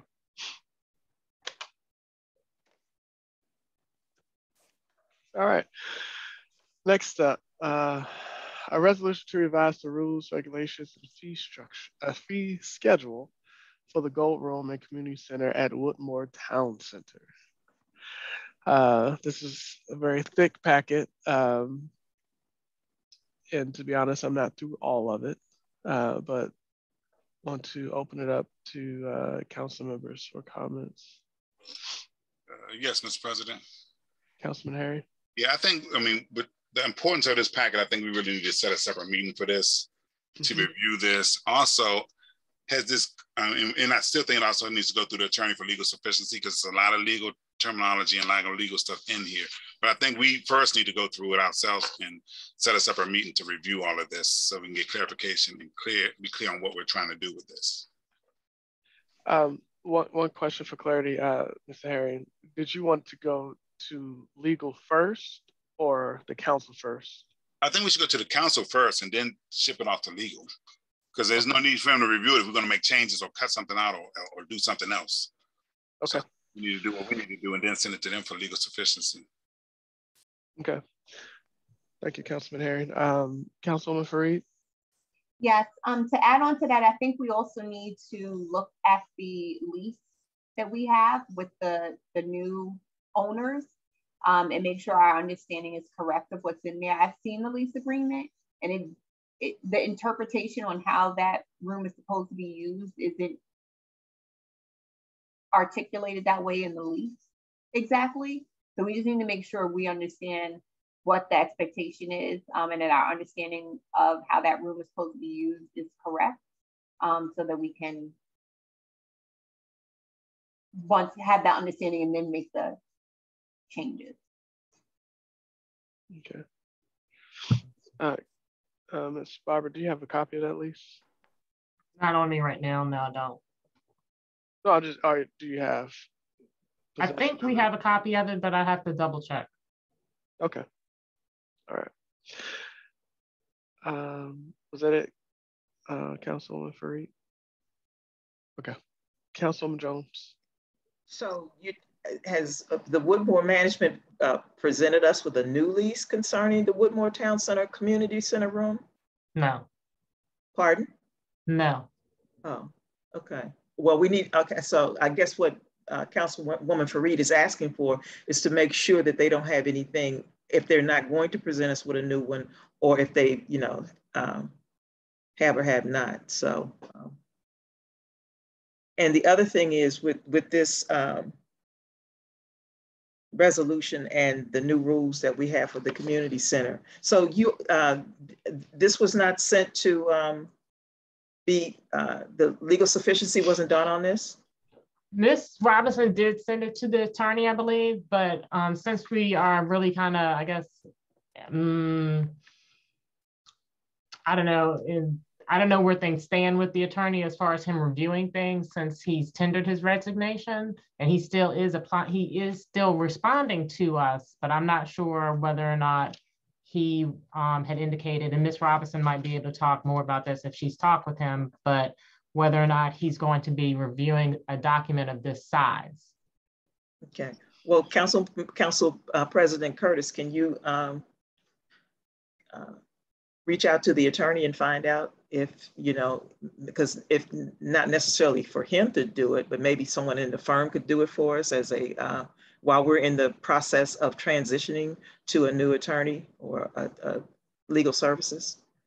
if they could kind of look okay. this document, because I don't think that this is something that we need to uh, uh, just let it sit around and not address it uh, and drag our feet because we have, um, we need to uh, put some concrete rules in place to have for renting the gold room and for uh, the um, uh, community center. Things need to be put in place. we need to have some structure and discipline for those those areas that belong to the city. Thank you. Uh, Ms. Robinson, do you have any um, additional information yes. to share on this? Yes, I just wanted to um, actually speak to um, Ms. Uh, Councilwoman Fareed's question about the lease. I actually did pull the resolution and look at the lease. Um, you guys initially signed it at July, I'm sorry, June 1st of 2012, and your current lease says that it automatically renews every five years. And when I looked in the terms, I think you basically had to give a 60 day notice in order to cancel it or restructure it prior to that renewal date. So you guys actually technically just renewed June 1st for five years. Thank you. So my question was less about whether or not we were under a lease or, or whether or not had been renewed, but what our understanding of the lease is. From my recollection of the lease, it doesn't say in there, for example, that we can only charge $50 for, you know, a room. So that's the type of thing that I'm talking about. We need to make sure our understanding from them is is correct on how we could use the room because if they're not if they're not the ones dictating and saying that we can only charge for whatever however we came up with the $50 and we can charge more then we can charge more so that's what I mean. Like we just need to get a, a, an understanding. I think some of what I've heard is is an interpretation of what's in the lease, and it's not explicit in the lease. I agree. I actually went through it with the fine tooth comb and kind of highlighted some things, even to speak to that whole HVAC piece about being able to control that. Um, it says that the landlord shall be responsible for payment of the electric and utilities. But my question is, do they have that restriction on any other tenant in that center. So I actually had the same questions you had and some other things highlighted um, in terms of like unsupervised um, usage and things like that. So um, I completely agree with that. Okay, thank you. Mr. President. Councilman Harris. That room originally, like I said, originally that room was dedicated to the city as a community room to be used only as a community room, not a rental facility. That's another thing I want to say about this contract that we have here. Those need to be separated. They cannot be on the same, they cannot be on the same contract. Those got to be two separate contracts. One for the community room, one for the um one for the um gold room. Because every time they, they come back to us and say is that you're renting the room, you're not supposed to be renting the room. It's supposed to be a community room for citizens to use for meetings and, and all of that. No, there's no fixed price on there about how much we can charge for maintenance, but we can't charge enough to make a profit. We're supposed to charge enough to cover the expenses for the use of the room. That's it. Because that's what it's supposed to be in a nominal fee for the community, not a not a money making operation. I know everybody want to talk about making profits off of everything. It's another one. It's another give back. They gave it. They gave it to us in a detailed site plan that was signed by uh, the city and um, approved by the county and the planning board. So no, there's no $50 fee. We just threw that $50 fee out there just because we had just started to run up and we didn't know exactly what the overhead costs were going to be. But I mean, it can be raised up, but it can't be raised up to where you're trying to make a profit off of it. Because again, it was a community run. We had, actually had to go back and forth with them with an attorney before saying, no, we're not renting it. It's for community events. And they're like, well, no, you're having this event, you're having that event, you're having this type of an event. And your, your paper says you're renting it out. Of you have a rental agreements and we're not supposed to be having all of that. Those need to be two separate contracts. They should not be on the same piece of paper. Well, Mr. Herring, I did clarify on that um, where it says usage, and I was very careful to write usage when we were referring to the community center. And I agree from what I've heard that it is a meeting room, and I've been trying to clarify that with people who called. Um, and if you notice that that rate was not raised that much, not as a rental thing, but to at least cover the cost of staffing over there and the supplies, because up until this year's budget, there hadn't even been a line item for the community center, but it's it's been funded in terms of staffing and supplies by the Gold Room. Um, so that was basically just to kind of cover staffing and supplies, and that's pretty much it. The budget always had a line item for Wilmore Community Center. It didn't for the Gold Room. Unless they took no, it was it was for Wilmore Community Center. Unless they took it out recently, because they always had one. Unless they took it out in the last budget, we've always had a line item. When we originally got that room, we wanted to make sure we kept that separate and that we could track the supplies and the usage in our room so that we can budget wisely and charge adequate um, maintenance fee for that room to the uh, people who use it. But um, again, they, those should be two separate documents. They should not be on the same document. The gold room and, and the non-community room, they should be two separate documents because they're doing two different things. Okay. Well, if you have any clarity on that, um, on that budget thing, like I said, Dean and I, I mean, I'm sorry, the treasurer and I actually discovered that when trying to do this year's budget. So if you have any additional insight that you can provide, that'll be great on that because we were completely confused as to how that was being flushed out for budget purposes. All right. mm -hmm. Okay. Uh, Mr. Herring, I, I, do agree that this is, um, you know, with all these rule changes in the packet, um, that it'll probably deserve its own meeting. Um, so we can uh, set that for the future. um, so with that, any objection to holding off giving it a resolution number until we move it out to thoroughly review? Okay. So Madam Clerk, we won't give this a resolution number yet.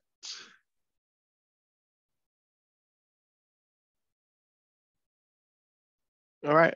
Um, last up under legislation is a resolution to establish a special fund known as the Glenarden Intergenerational Poverty Relief Fund to reduce the impact of economic hardships arising from the pandemic caused by the coronavirus in the city of Glenarden. Uh, Councilwoman Guillaume. Uh, you're on mute. Sure, thank you, Council President. Um, I'm going to try to speak as quickly as I can because I know there's still other things we want to touch on. So I literally went throughout the entire city and I saw over 70 to 80 homes that are in bad shape, right? Without knowing the homeowners or what their incomes are. So I, I just want to start off with that and now go on and say that the impetus behind this particular legislation is twofold. So citizens who happen to be homeowners with low incomes and or citizens on fixed incomes such as seniors and the people with disabilities and veterans are in need of help. And I strongly believe society should not be criminalizing poverty. Secondly, um, thanks to ARPA's final rule, cities and states throughout the country have been providing assistance to the populations that I just mentioned. And I was disturbed, extremely disturbed. And I, I have to uh, give a special shout out to the city manager who I called several times in regards to code enforcement and to also try to get this moving. Um, this particular research that I had been doing um, moving, I was disturbed to see programs are currently in existence in Maryland and Prince George's County, but Glenarden citizens cannot utilize any of those programs because of where our city is located. Those specific programs for housing rehabilitation assistance are the Prince George's County Home Ownership Preservation Program. They call it HOP. And the second one is the Blue Line Corridor Homeowner Rehabilitation Assistance Program. Now, with the very first one that I mentioned, the, the Prince George's County HOP program, it was launched back in, in December 2021. And the city, I'm sorry, the county um, made a $1 million investment uh, into this, utilizing ARPA funds to assist homeowners by providing up to $30,000. And let me be clear, people have to meet a certain income threshold because this is strictly for low incomes. Um, and by low income, I mean 80 below 80% incomes and be and um, up to 50% as far as minimum. Um, and households under 50% of the area median income they can receive up to $50,000. So below 80 is 30. And when I mentioned 50, again, I mentioned 30,000, but that's, again, that's the Prince George's County program. We are not, we don't have a million dollars worth of investment. So hence my $200,000. Now, why would why were we not able to utilize this program in Glenarden? Because it's always a fine print. And when you look at the fine print, you realize that you had to be in a qualified census tract and the qualified census tract is tech is is very clear that it, you have to be a mile by the print, I'm sorry, you have to be near the purple line. So that we were immediately knocked out. The second program was the blue line corridor, and you guessed it, we have to be literally by the blue line. And I don't mean we can drive to the blue line. I mean, you have to literally be by the blue line. So we also were not eligible um, for getting this type of assist, assistance. I was extremely unhappy when I did when I did all this research because I felt that there are a lot of families in Glenarden that are in need of this type of support, but just because of where we are as far as our jurisdiction, they can't get any assistance. So within the within the legislation, I did there is a line item as you can see that says that it's at the discretion of the city council for us to establish this um, and go further. I, I feel that when we look at all these programs, and not just locally, but also uh, in other cities, they are very clear as to different things that are fundable and, and, are not. So we can do our due diligence and look at what's fundable, such as roofing and gutters, electrical repairs, plumbing repair, tree removals, etc. Um, and other things like building a deck is not something that we are going to do. The other thing is we it has to be owner occupied. I know that there are, I believe it was, I, I don't want to say the wrong council person, but I believe it was Councilman Herring at one point. I think it was at a last meeting where we were talking about homes being occupied and being rented where it was zoned for probably two how two family members or or probably three, but now it's like six, seven, eight folks living in there. So this these are not for homes that are being rented. These the, the owners have to occupy um, the residents and they have to be obviously Glenarden citizens by default. And lastly, like I mentioned, they have to fall within the income, um, the low income verification line, which the city, the state all has that, and I also have it as well. So that's it in a nutshell. I tried to speak in less than four minutes, so hopefully that was helpful, and I'll take any questions.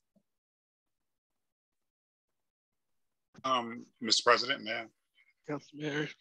Yes, uh, Councilwoman Gilliam. Um, um, I know I had I had a couple of seniors that I got on a program in the county. It was uh, um, it was almost like a program like you were talking about, And mm-hmm. what they would do is they would actually come in, they would fix up the senior's home and they would put a lien on it and they would get their money back once it's sold.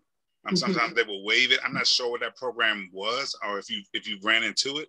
Um, I don't know if it's funded or not because sometimes it's funded, sometimes it's not. But I, yeah, um, so I, I, I do know they had they had that program. I oh, oh I, I, thank you, and so thank you for saying that. And the city manager can also attest, research everything. So I believe that program, that it was the Maryland Housing Rehabilitation Program, I believe. Um, and that one is a loan now, and they stopped doing it right now because since ARPA funds came in, and all the other programs that have been um, coming in, again, they're all saying that they're full. They don't have the, uh, even down to for utilities, you know, the home energy programs, like every single thing that we can think of has been full. But those two particular signature programs from that, that the county and the state had done that I mentioned, the speaking specifically of the Blue Line Corridor in Prince George's County, it was in response to, I believe what you were saying, um, Councilman Herring, where they were going to just utilize the ARPA funds to address that need. Okay, thank you. I'm, I'm, I'm, gonna see if I can find that paperwork. I'm gonna see if I can, and I'll send it to you. Please, please. See if they even have it. They, sometimes they'll change the name of a program, but mm-hmm. something. I mean, it, will give us something else to look at too. If we, you know, while we're trying to get ours together, maybe we can direct them to that and reach out to our county council rep and say, hey, what, what you got out there? What other programs I got out there for our people? Because I mean, a lot there are a lot of seniors. I know our seniors just talking to me recently about getting her step fixed or either right. getting assistance to put a ramp on because she's no longer going to be able to go up and down the steps.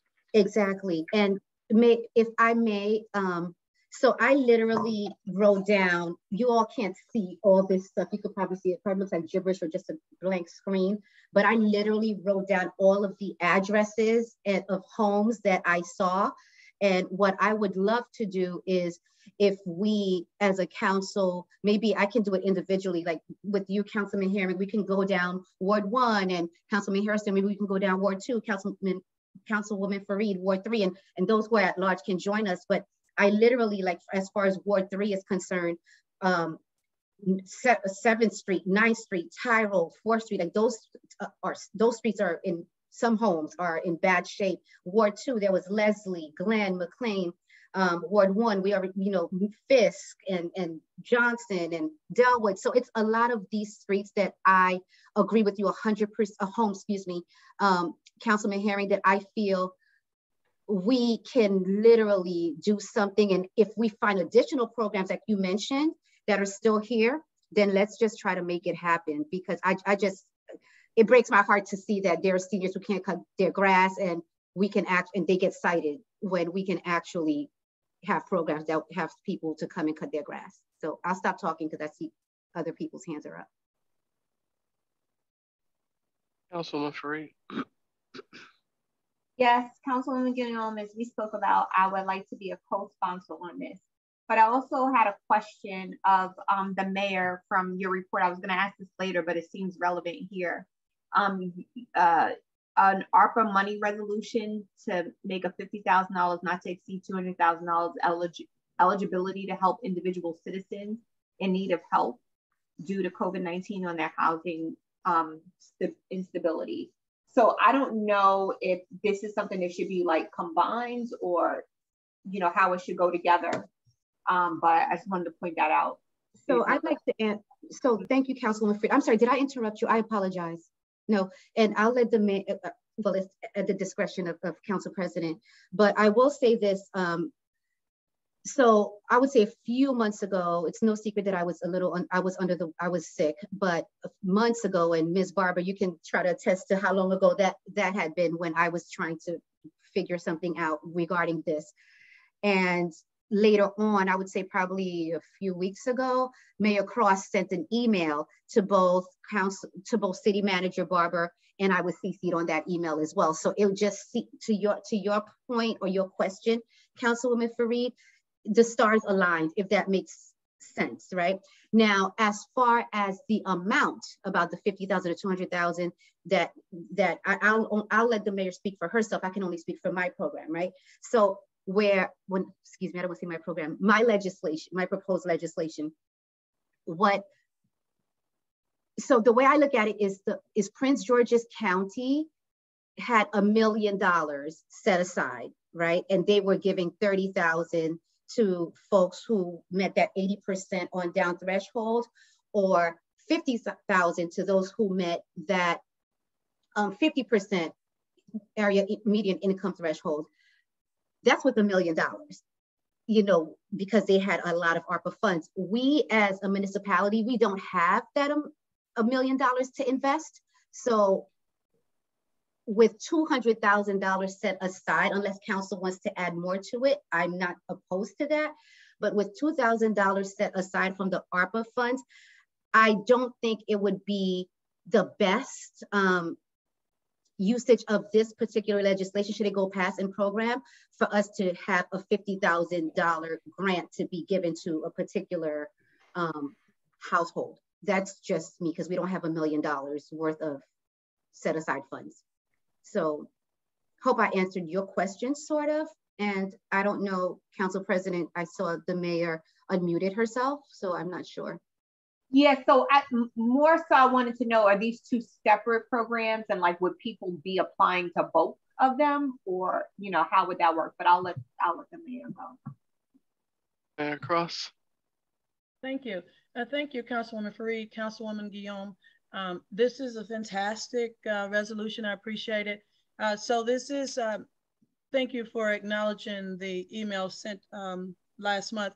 What we do want to do is acknowledge for the ARPA money that we have an ability to actually um, support our community um, in covering rent, uh, in utility costs, and housing costs, um, as defined by the treasurer for secretary uh, for the coverage of the ARPA monies. Up to 10% is allocated for housing stability services can be allocated and 15% can be used for other administrative costs. So this is something inside of the American Rescue Act uh, Plan Act that we could utilize that, um, you know, almost 5 million that we got to support our community in that way. Uh, I've already had a resident particularly reach out to me a couple of times about supporting with rent um, in a severe uh, traumatic time as of right now um, and in you know potential risk of losing the home so i'm very happy and encouraged to see this but yes i do believe we need to have a another resolution that pulls money from the American Rescue Plan Act, um, which can actually address catching up um, utility payments that went behind because people didn't have a job, rent payments that were deferred because people didn't have jobs, and now we're having to take all of those costs. Come July, uh, many of those costs are going to be required. So for allowing household providers, um, again, to apply for these funds, uh, even on, on behalf of the residents, if say if it's a rental payment, someone is renting from someone, they can actually apply on behalf of their renters who cannot afford to pay their rent payments. That's what I was asking for. And 50,000 may be a low number. I was just trying to be reasonable based on the fact that I've just only gotten a couple of inquiries. But if we can push 200,000, um, and then publicize this, I, I guarantee you, you're going to find a lot of folks utilizing the services. Okay, last point I'll make on this is I think it's two different programs. It just needs to be clear what the criteria are for each program and who can apply for, for what. But that's all. Thank you. Okay. Councilwoman Jones. Uh, you're on mute, Councilwoman. Muted. Okay, I'm sorry. So Councilwoman Guillaume, um, the program that you're trying to institute, I think it would require a project manager, somebody that would specifically zero in on this so that we would make sure that we would get uh, persons, the homeowners that are eligible in your criteria for this particular um, program. So you do agree that it should have a project manager? Absolutely. I, um, and I stress this, um, and again, I, I have to say her name because she has been the bearer of my calls on Sunday evenings and Monday mornings when I'm like, look, I want to make sure Um, what are the code enforcement violations? What are, you know, what are the, what's the population of those who are getting violated, et cetera, et cetera. And researching eligibility requirements and how this program would be managed in the first place. So looking at um, case studies and best practices, there's always been a project manager. So when when Ms. Barber and I, when I when I sent her a whole bunch of different things to look at, um, and Ms. Barber, you can say if I'm if I'm um, exaggerating or not.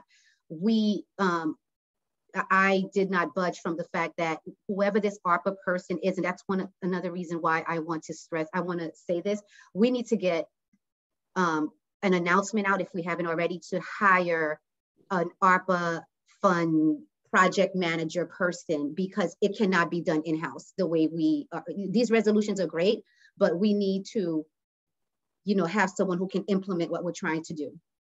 So yes, Councilwoman Jones, to answer your question, absolutely.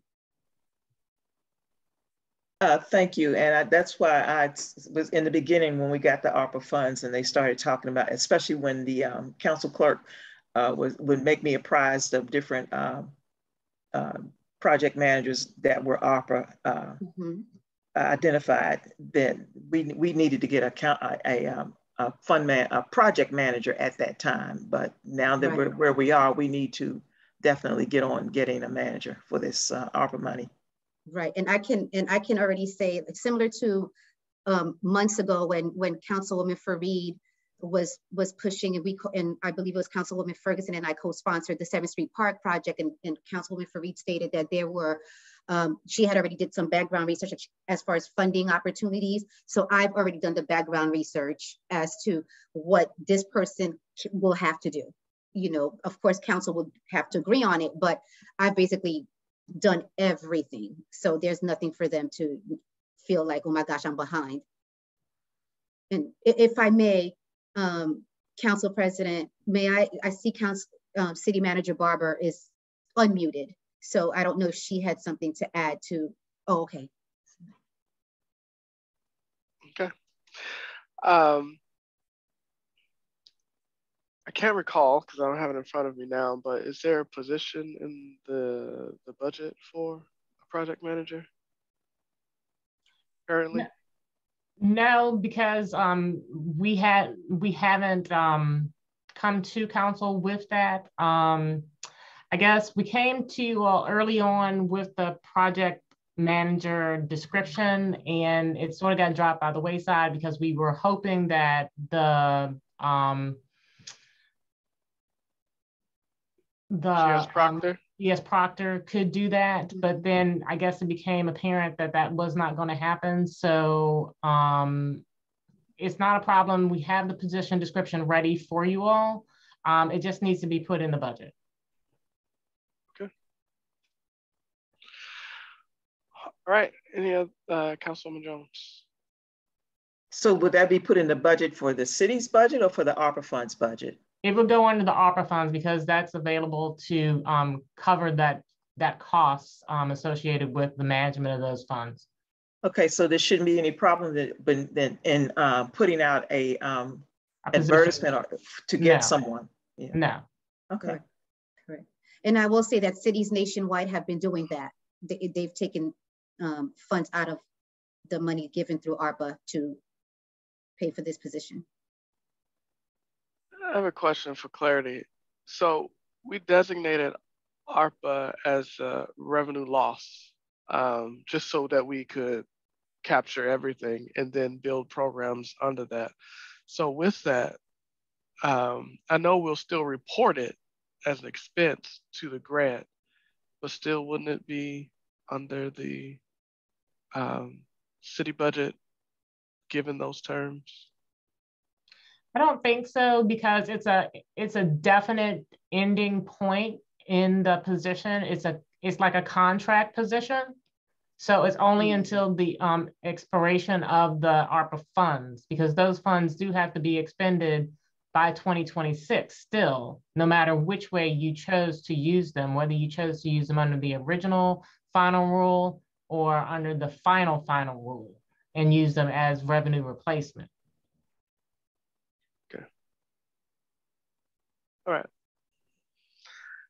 Any other questions, concerns um, regarding this piece of legislation. Great piece of legislation, I should say. Thank you. And I, I, I do want to thank my colleagues, or all of you on this call. You know, as you, if it's not noticeable, I just usually say what I have to say and I'm done. So I, I appreciate the questions that were asked and I hope you can sense and feel my passion behind this. You know, I, I think we all are called to serve our citizens and there's various legislations that have come forth behind all of this. So thank you all for the amazing questions and th that you've asked and for Councilman Herring for offering, um, if you could find the name of the other program that we could not find, um, th thank you. Okay. All right, with that, um, that is all we have on the legislation for this work session. Uh, we'll move on to administrative reports. And as we have, I'm sorry, Councilman Ferguson, I'm uh, sorry that I missed you. We give it a number. Ah, thank you. Numbers. Councilwoman, uh, Councilwoman, Council Clerk, could you uh, provide a number, please? Sure thing. Um, uh, resolution number R fifty 2022 will be a resolution to establish a special fund known as the Glenarden Intergenerational Poverty Relief Fund to reduce the impact of economic hardship arising from the pandemic caused by the coronavirus in the city of Glenarden. Thank you, Council Clerk. All right. Now we can move on to the administrative reports. And as we've come accustomed to do in our work sessions, um, instead of uh, the presentation of the reports, which will happen at the regular session, uh, all of the reports have been provided to council members for reading. And so now we're just gonna open up for questions if you have any. Councilwoman Fareed. Okay, I have a lot of questions. So. All right. So going through the mayor's report, I think we already kind of addressed the ARPA stuff, but I just want to clarify. Um, Mayor Cross, you're saying it's not fifty thousand to two hundred thousand dollars per person. That's the total amount of the fund to be allocated to individuals who apply. That's correct, Councilwoman, not to exceed two hundred thousand dollars. Okay. And on the next item, um, where it talks about follow up on actions necessary for traffic calming measures, ordinance on traffic regulation, what ordinance are we talking about? So the last conversation that we had with uh, Mr. Carrington and Sensys Gatso was that we needed a feedback on their successes in other communities. Um, so I believe that's what the council wanted if I understand that correct, city manager, is that all we were waiting for? To push back the resolution for getting our traffic calming measures on place or in place. And I will state that we really, really need to get this in place. I don't know if you all are aware, but we had a tragically horrible accident there on MD 202, as I was uh, Martin Luther King, literally right in front of the municipal center, car flipped over from having you know, an accident. The speeds are excessive. So we need someone to hold the speeding accountability and actually put the measures in place. So we are really at this point pleading with you on getting someone in place. Uh, if they are not good, we can always relieve them. But um, I mean, they're going to be accountable to help us collect these fees too and maybe slow the traffic down but um, I don't, maybe Chief can tell us about it later. Okay, so you're saying you need an ordinance to, to reduce the speed limit?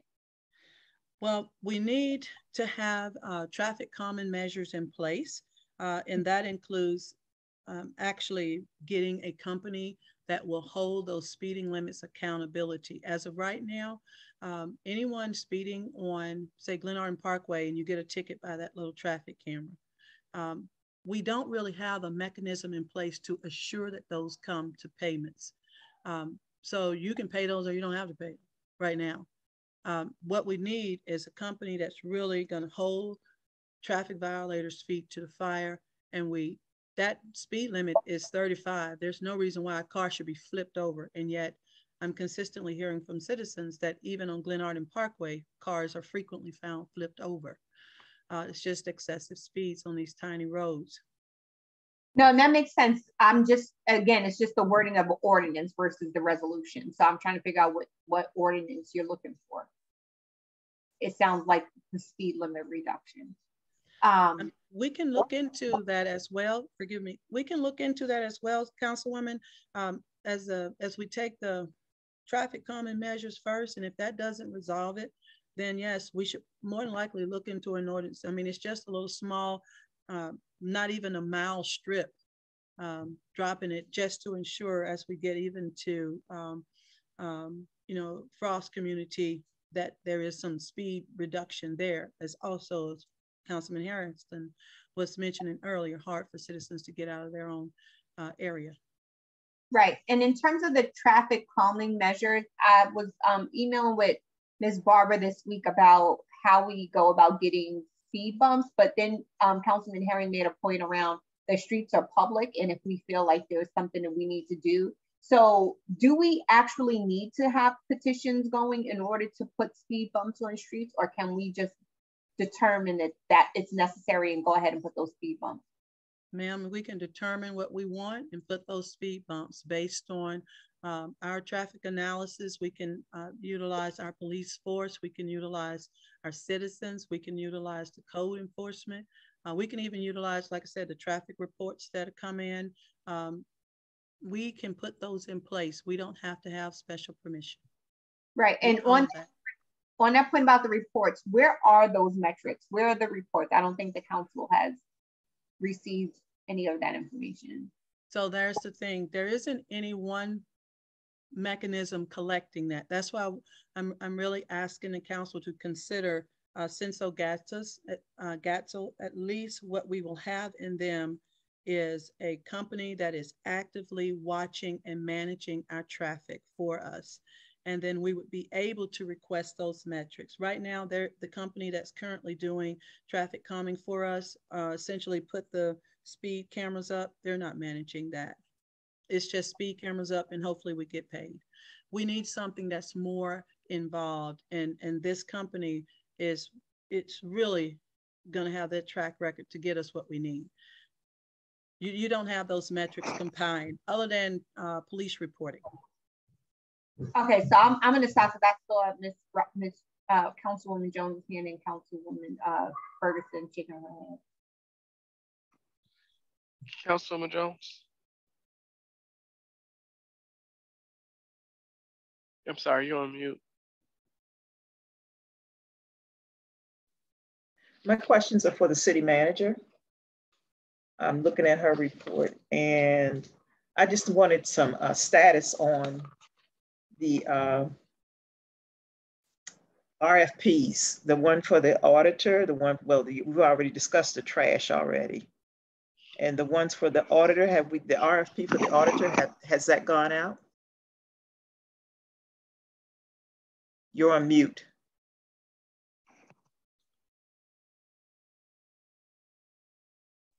Sorry about that. The um, RFP for the auditor has not gone out yet. I don't think um, we are waiting on um, just a few things from um, the treasurer to um, finalize that, and then that will go out. But it's it's almost ready. It's okay. just a just a few things. And uh, the trash, we are, we've already discussed that. And there, there was another RFP that was supposed, oh, the dais. Have we heard anything about uh, getting uh, work done for the dais? I mean, uh, uh, the council has discussed and citizens have discussed us coming back into the uh, city hall and holding our meetings, but until we get something done with the dais downstairs. Um, right. So the dais um, is falling under the scope of the architect um, with the architectural and engineering professional services um, RFP that was put out because we would need an architect to design that. And um, those came in on May 27th. and they are a true RFP, so they all have to be looked at. Um, they do have prices associated with them, but the price is not the only, um, I guess, um, component that you would um, grade them on. So the staff is reviewing those proposals and I welcome if any of the council members want to um, review the proposals um, and, and give uh, their input on that. That certainly is welcome. Um, and we hope to have that finished by the end of next week. So that's an architect for not only the dais, but other things in the city that require. Exactly, like um, Councilman Herring um, mentioned um, with the 7th Street Park, we do need to have a site plan for that. Um, if we were going to put more than one component on there, um, and even if you are only going to put the um, the playground on there, you would still want to know exactly where that site plan would be. So that would come into play with the architectural services as well. So that, like I said, should be finished um, by end of next week. Okay. So, um, so that, that it can be awarded in the next um, you know, meeting. Okay. Now the um, ADA compliant sidewalks for Lanham Construction, uh, where is there a start date for them? We don't have a start date with them. We sent them the contract and they have not sent the contract back to us. We did reach out to them today and they said that they felt that the contract was a little, um, the word she used was confusing. So she was having a partner um, of Lanham Construction review the contract and um, said that she will get it back to us soon. And the MLK site, I thought we had everything ready to at least get started on. I know that that. Right. So you all have not approved the contract for all recreation. That I think is supposed to come up to um, approval next week. Okay. Um, with the regular meeting. Okay.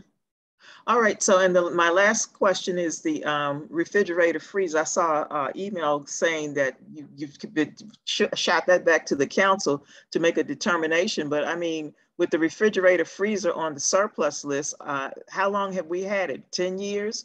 So you just look at the original price, do a uh, uh, uh the uh, depreciation on it, and then come up with a price. I mean, why would that have the council?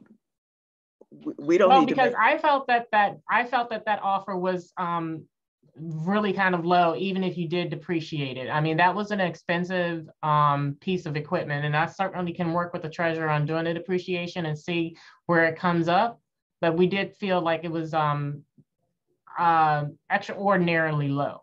Okay, but in order to move the process along, like I said, just how much did we pay for it 10, 15 years ago, and then do a depreciation and figure out, or or Google it and see where it falls at, uh, 2003 uh, Frigidaire freezer, commercial freezer, how much that would be now, and and and then come up with a price, and yes, to to get that you know moving. I, I don't think that's something that the council would have to make a decision on to get it.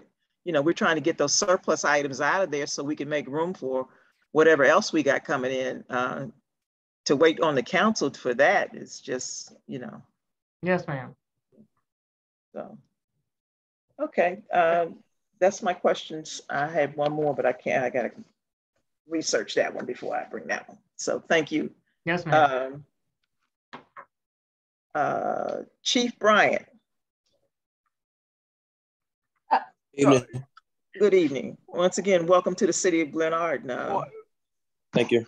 Um, Ms. Jones, so okay. before you start with Chief Bryant, um, uh, I think there's a disconnect. I, we thought that, uh, well, at least I thought you had questions related to the uh, traffic calming measures. So oh, I'm sorry. We'll come back to you on that uh, and and allow Ms. Fareed to finish, and then I'll come to you next. Okay. Okay. I didn't understand Ms. Fareed. She was breaking up there. So. Oh, sorry about that. Um, and so just going back to the mayor's report, um, Mayor, I I see a lot of items here, like on point C, the mayor's office has supported field and 12 office calls meetings. I think these things are great, but what I'm not entirely clear on is what the distinction is between the events that you are participating in, you know, just because you're um, a service oriented person versus what are the events that you are doing as mayor of the city of Glenarden and how those events relate to the city. So when we talk about, for example, the Mr. DC 2022 Advisory Committee meeting with Miss Virginia World over 60, Dr. Gloria Crossland, there's not enough information there for me to understand like how, why is that relevant for for us? Is there any impact? Is there any action for the city or is it just you know an event an event that you attended?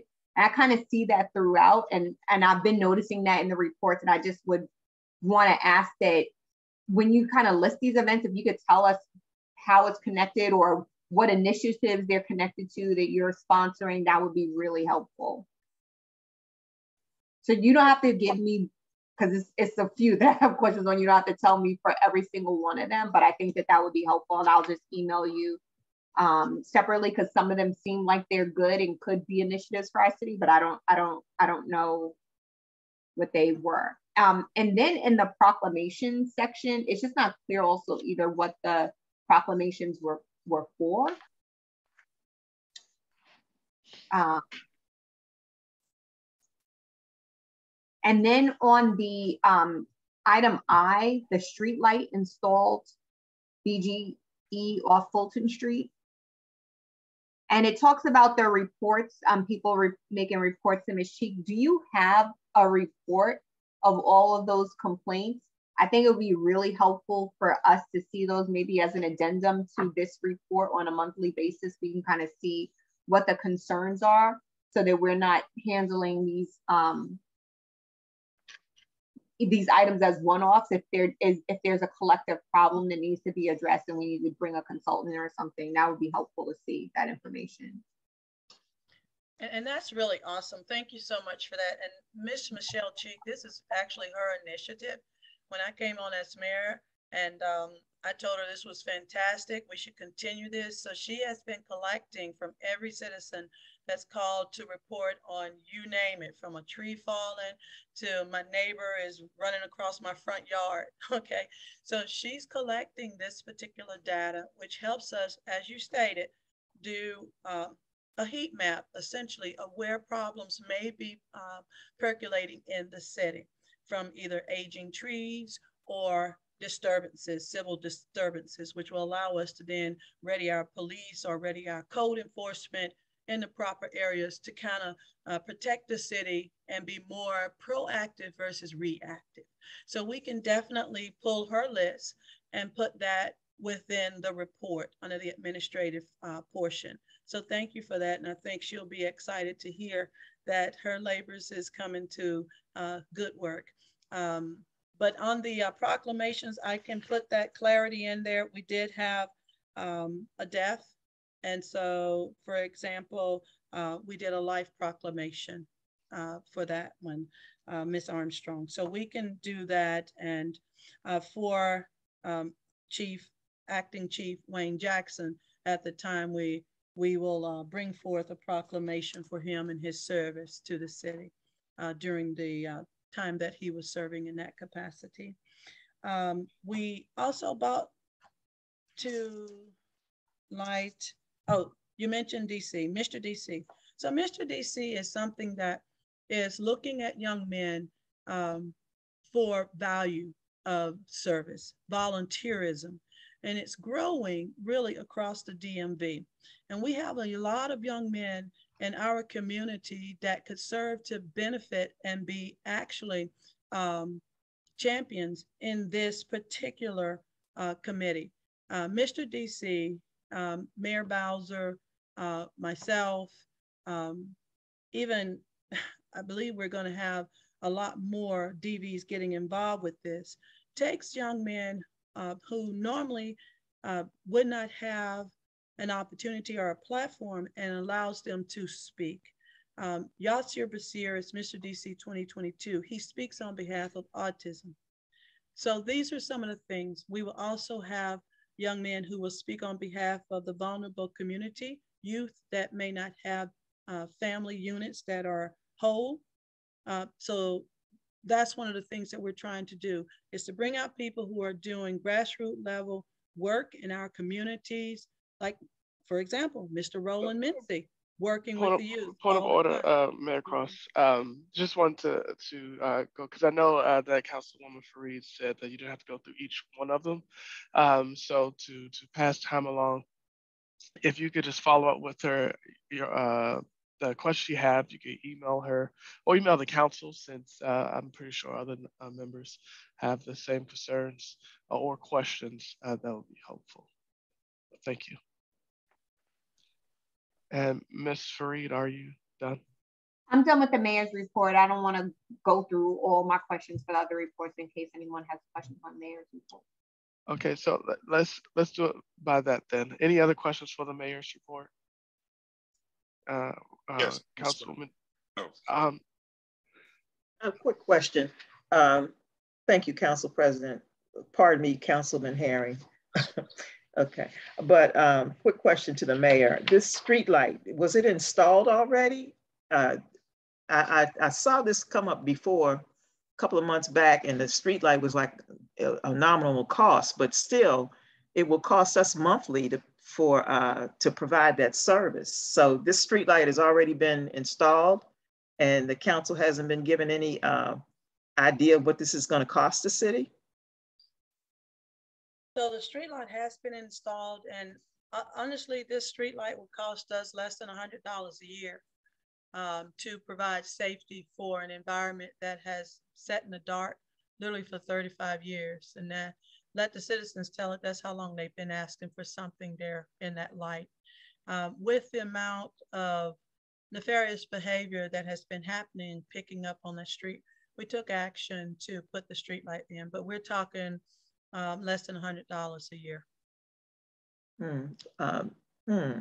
The monthly bill, I'd like to see the monthly bill when it comes in for that particular street light, because we do get a monthly bill for each. And I'm not saying that these citizens uh, should not have the protection of a street light, street lamp. This is the first I've ever heard that they've had an issue over there uh, where that is. But yeah, I mean, uh, but I would like to see the, because I know it, it would, the, the cost to put in the street light was somewhere around uh, maybe less than $300, but monthly, what are we paying monthly for that service as the city of Glenarden?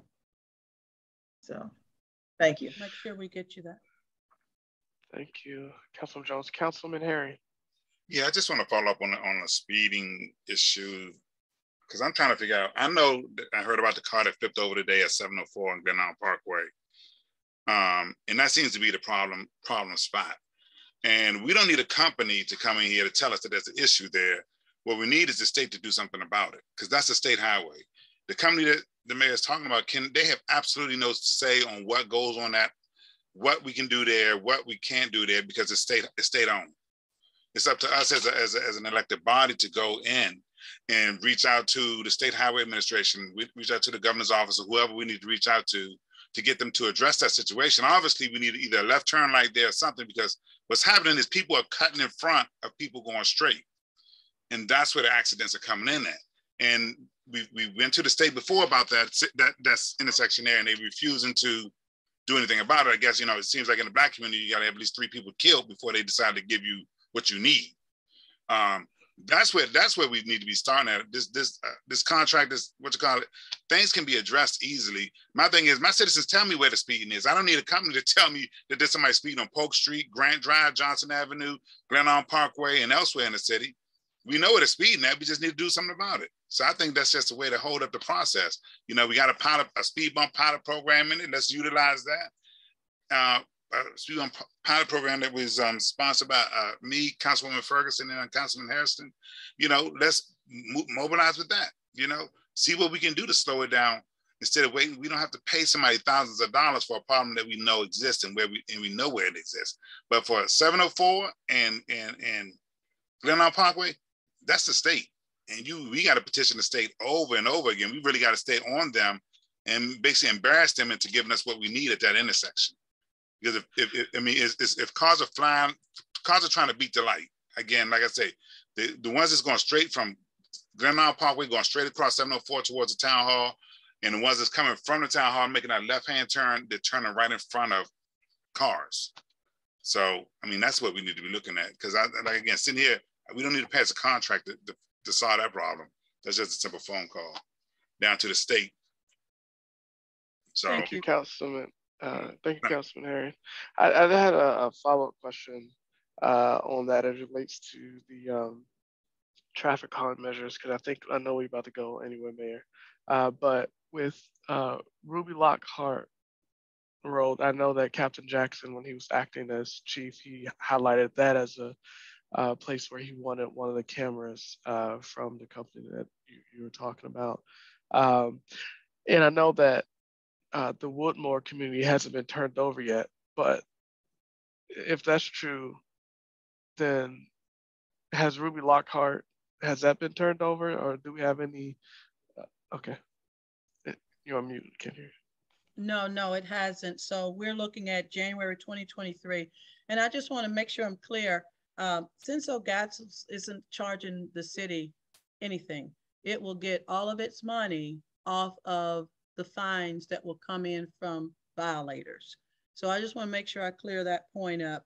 We are not going to charge, they're not charging us thousands of dollars, but what they are going to do is put help us put a plan in place and be a responsible agent to actually collect on those fees. That's what's hurting us right now.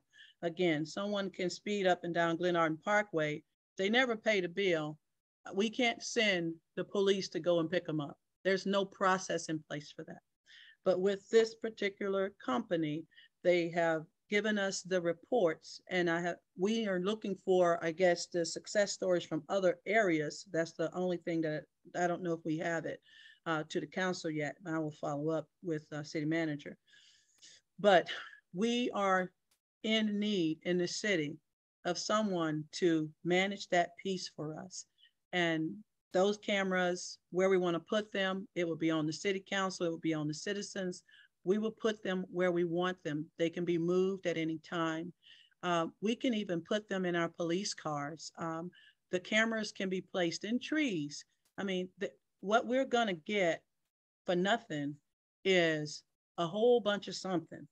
And for us, the cost is leveraged back to the violator, essentially. Um, so definitely Ruby Lockhart can be done. Woodmore isn't going to transfer over until uh, first quarter 2023. So we still have some time to take care of that. Councilman Herring, you talked about the speed bumps, the humps, I mean. We can also utilize that program as well and do an incorporative. But as of right now, I, I highly recommend it. Again, if it doesn't work out, it's just as simple as saying thanks for the service is not going to work. Thank you, Mayor Cross. Any other questions for the mayor's report?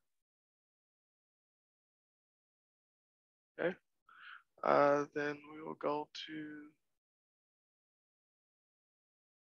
the city manager's report. Any questions for the city manager's report? Mr. President. Councilman Herring. Yeah, I just I was looking. I'm I'm just get rid of this question since it's all under her, and this is just for the for the gold room the gold room report. I, I think it's lacking. I mean, it's not giving us any information. Um, the last report at least had dollar amounts on it, what we earned for the month, and that's not on this one. Um, I mean, it says six scheduled events. What type of events were they? Um, I would like to get all that information. Uh, the three scheduled gold room events projected.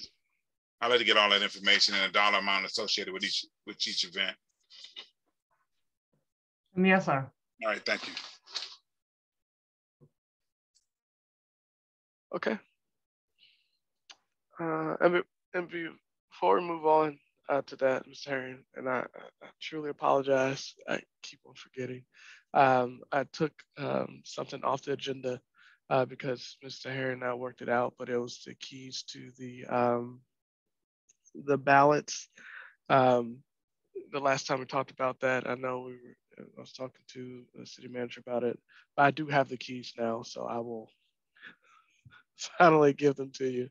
Um, so just a heads up on that. But um, Councilman Herring and I already discussed that as a, it's not a council issue, but um, the election board has turned over those keys. So Um, with that was, uh, I'm sorry, Councilwoman Fareed.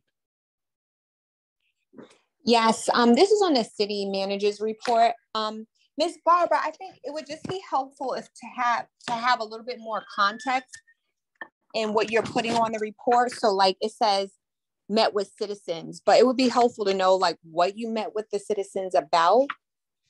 Um, just so we kind of have some context or like worked on three off three RFPs and posted in newspaper online and on a state website. The RFPs, like what are they for? You it uh, says you wrote along with code enforcement and what were there any findings from that? And that you reviewed the bi-weekly reports, uh, what, you know, what reports are those? I think it would just be more helpful to have some context and action items on the report. And I don't know that we necessarily need to know like that you answer emails or that you approve check requests or things like that. Okay. All right. Uh, any other questions for the city manager? Okay, we'll move on to treasurer's report. Any questions on the treasurer's report?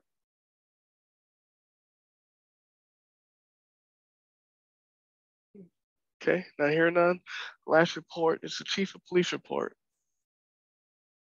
Any questions for the chief on his report, Councilwoman Jones? Um, I'll send him an email. Okay, thank you, Councilwoman Jones. You're welcome. Uh, Councilwoman Fareed. Now on the chief report, but you said that was the last report. Just there's more reports. so we're not gonna go should I have addressed the public works report with the city manager? Yeah, yeah I well, yeah, all of the. I mean, if you have questions, I'll definitely accept them. But um, I was lumping all those reports under her. Oh, got um, it. So, so I do have a question on that because you know we've been getting a lot of complaints from residents about the state of the city and and how it's looking and so I think it would be helpful, Ms. Barber, if we could get a map of the city with the areas that are maintained by Public Works and the frequency of which that's done. And if there are any common areas that are not the responsibility of the city, it would be helpful to know who is responsible for that. Like, is it the HOA? Is it the county? So that when there are complaints about how things look, we know who to go to or when it's going to be resolved. Um, I think that that for me is the biggest thing. We don't have a schedule. We don't know when Public Works is, you know, it says they continue to cut grass throughout the city, but how often are they doing that and picking up litter throughout the city? Someone posted it on Facebook the other day, Campus Way. There was just like a pile of garbage in the middle of the street. Not sure whose responsibility that is. Is that Public Works or is that? Yeah, it would be. And yeah. typically we get a call if there's something like that that's in the roadway. Um, but yeah, so it would just be helpful to to have a map of the city and knowing who's responsible for what and okay. how often that's being maintained. Thank sure. you. Okay. Okay. Any other questions? All right.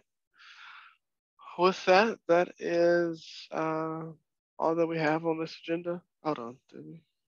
Yeah. Okay. We have, chief, we have the chief of police report now, I think. Mm-hmm. Uh, but no one had questions um, unless I missed it. And chief, I'm sorry. Um, so in the past, there was a re, uh, report uh, you would give a presentation at the work session and then give the same presentation at the regular session. So to cut out the double presentations, uh, we just give all the reports to council members just for a read ahead. If they have questions, then we can address them directly with department heads at the work session. And then your official presentation will be at the regular session. Um, I know this is, um, is this your first work session? Yes. Um, just real quick, I'd like to make just a couple comments. I know we're running behind, but um, we had a couple concerns in the community. But before we do that, um, the traffic calming measures, um, the mayor and uh, council member Herring brought up some real good points in reference to traffic calming measures. Um, we need to utilize every everything we can to try to ascertain and get information for our community. But like Council Member Herring said, um, strength come in numbers. You got to keep pressing the state. Um, that would be you, you, guys working together and strength come in numbers and just keep pressing them so they can come on these state highways and do what they need to do. And in reference to what the mayor said, if we got a company coming in that can help us out and we don't have to pay them just to give us intel to help make us a better community like other communities, that'd be great too. So anything we can utilize to help us out as a city would be great. Um, also, in addition, um, I like to talk about um, the mass shootings we've been having across the country. Um, over this weekend, we had 13 mass shootings um, and 17 kill, over 200 so far this year, and uh, just just half of the year so far in June. So some of the things we've been doing in um, in Glenarden City is um, make sure that we're visible in the areas. And I also got several calls from citizens about the officers being um, at the shopping center, being visible in the shopping center. Um, if you remember the Buffalo shooting incident, that particular individual, he staked that place out several times. And if you look at the video, not at one time did you see a police vehicle in the area. They just had a security guard who was stationed working off duty, who was a retired officer. Um, but if you notice in our shopping center, um, you see the police moving around, you see police working off duty at these locations um, with vehicles uh, clearly marked in front of these locations as a preventive measure. Um, also, um, just before the school shooting, um, the mayor, the city manager, myself, Cap Jackson, the lieutenant, and the officers, um, we've been going to elementary schools prior to the shooting for different events, career days. They had career day, field day, and everything else like that. But um, we were making our presence known. And I think a couple of days later, we had the school shooting, and we've been having officers posted at the schools um, before and after, just um, you know, uh, giving them an assurance um, that we're there for them and uh, updating them, updating the principal and the teachers and stuff on things we're doing to try to make our community safe. So those are some of the things we're doing, and um, we we appreciate the support from uh, everybody and working together as a team. That's all I have. Thank you, Chief Bryant. Really appreciate all the work that you and your officers do for the city. Mr. President, man. All right, Councilman Herring. Yeah, uh, Chief, I just want to thank you for the uh, cookout. It was yes, a great event. I really enjoyed myself. It was great sitting with my seniors. I haven't sat with them in a while, you know, because of COVID. And, um, you know, they wanted to meet everybody and they enjoyed meeting you. Um, I know they're going to hold you to task, you know. Yes, um, so, but I'm going to just say this if you ever need anything for an event that you're having, please don't hesitate to reach out to me. I mean, I, I don't, I'm not want to speak for other council members, but I'm sure they wouldn't mind assisting with either. Because I know, you know, you were kind of short on funds, but I have no problem if you ever need anything. Just just reach out to me. I'd be more happy to assist you with with whatever you need. I appreciate everybody. Um, everybody been very helpful. Uh, everybody I reached out to on the council, um, especially the mayor and the city manager.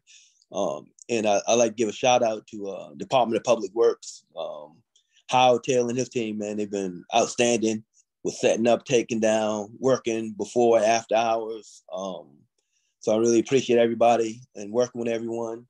So um, if anybody, actually, if anybody had any pictures that they took with the seniors, because I didn't get a chance to take pictures with the seniors, if you can forward them to us so I can get them to Monet, this ward, you know, we can take care of everything. And um, I'd like to give a special shout out to uh, our vice president too, Ms. Ferguson. Um, she's been working with me, uh, especially with certain things in the community. Uh, the latest thing we worked on today was trying to get uh, that apartment. Um, I think it's Glen Reed Apartments. Glen Arden. Yeah, we nah. trying to. Yeah, we're trying to get a um, trying to get them to write a letter to give us access to the property, to um, to to do some enforcement for them. They'll have to give us something in writing for us to actually because it's private property, and uh, so we're working on that now. And uh, we're trying to, you know, any one of the awards, we have any issues or concerns, just um, reach out to me and uh, me, the captain, the lieutenant. Uh, we we get with the officers and we try to make everything work out. But it's a lot of things I'm still learning, and um, like I said, I'm very happy and excited about it. And several citizens have reached out on a regular basis, so we're working some things out. So thanks again, everybody. Appreciate you. Thank you, uh, Chief Bryant. Councilman Jones.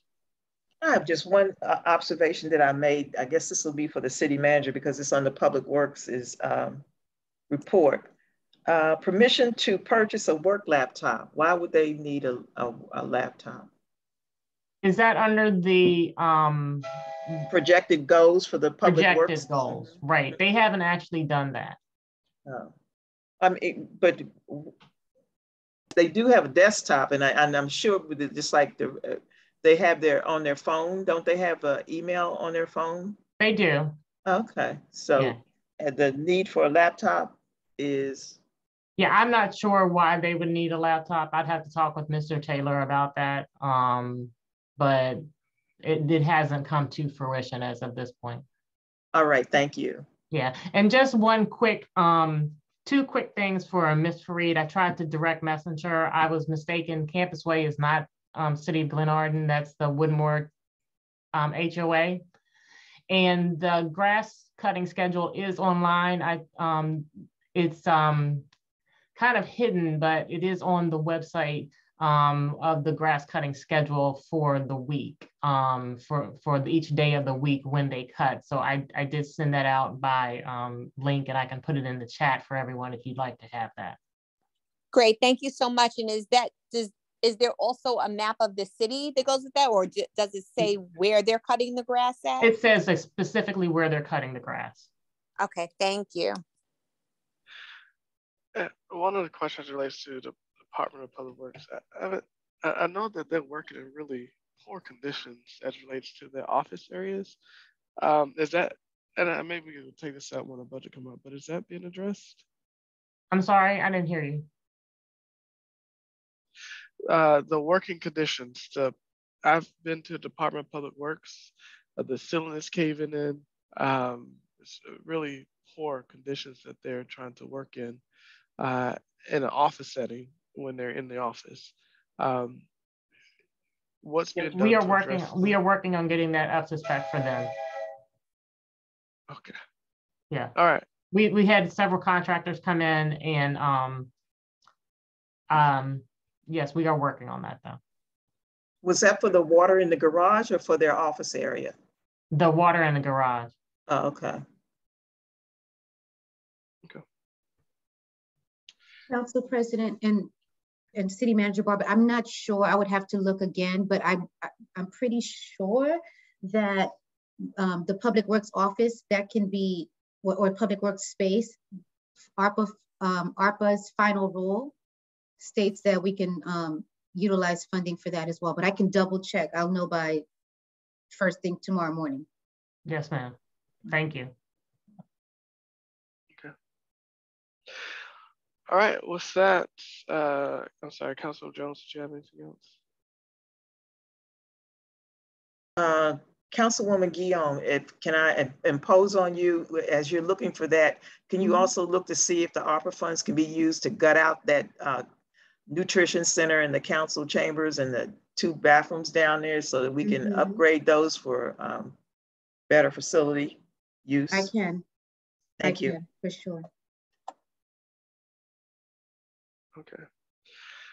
Um, with that, uh, and, and Chief, I do want to say that, and I guess it was Councilman Ferguson and uh, Councilman Jones that my son truly enjoyed the the barnyard pimp.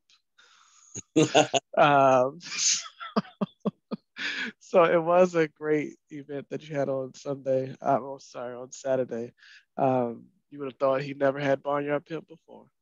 um, and for people uh, like me who did not know what barnyard pimp was until uh, two days ago, that's just chicken so uh, with that, uh, the time is 9.43 and this meeting is now adjourned. Thank you guys. Have a good night. Thank you. Good night. Good night, everyone. Good night. Good night.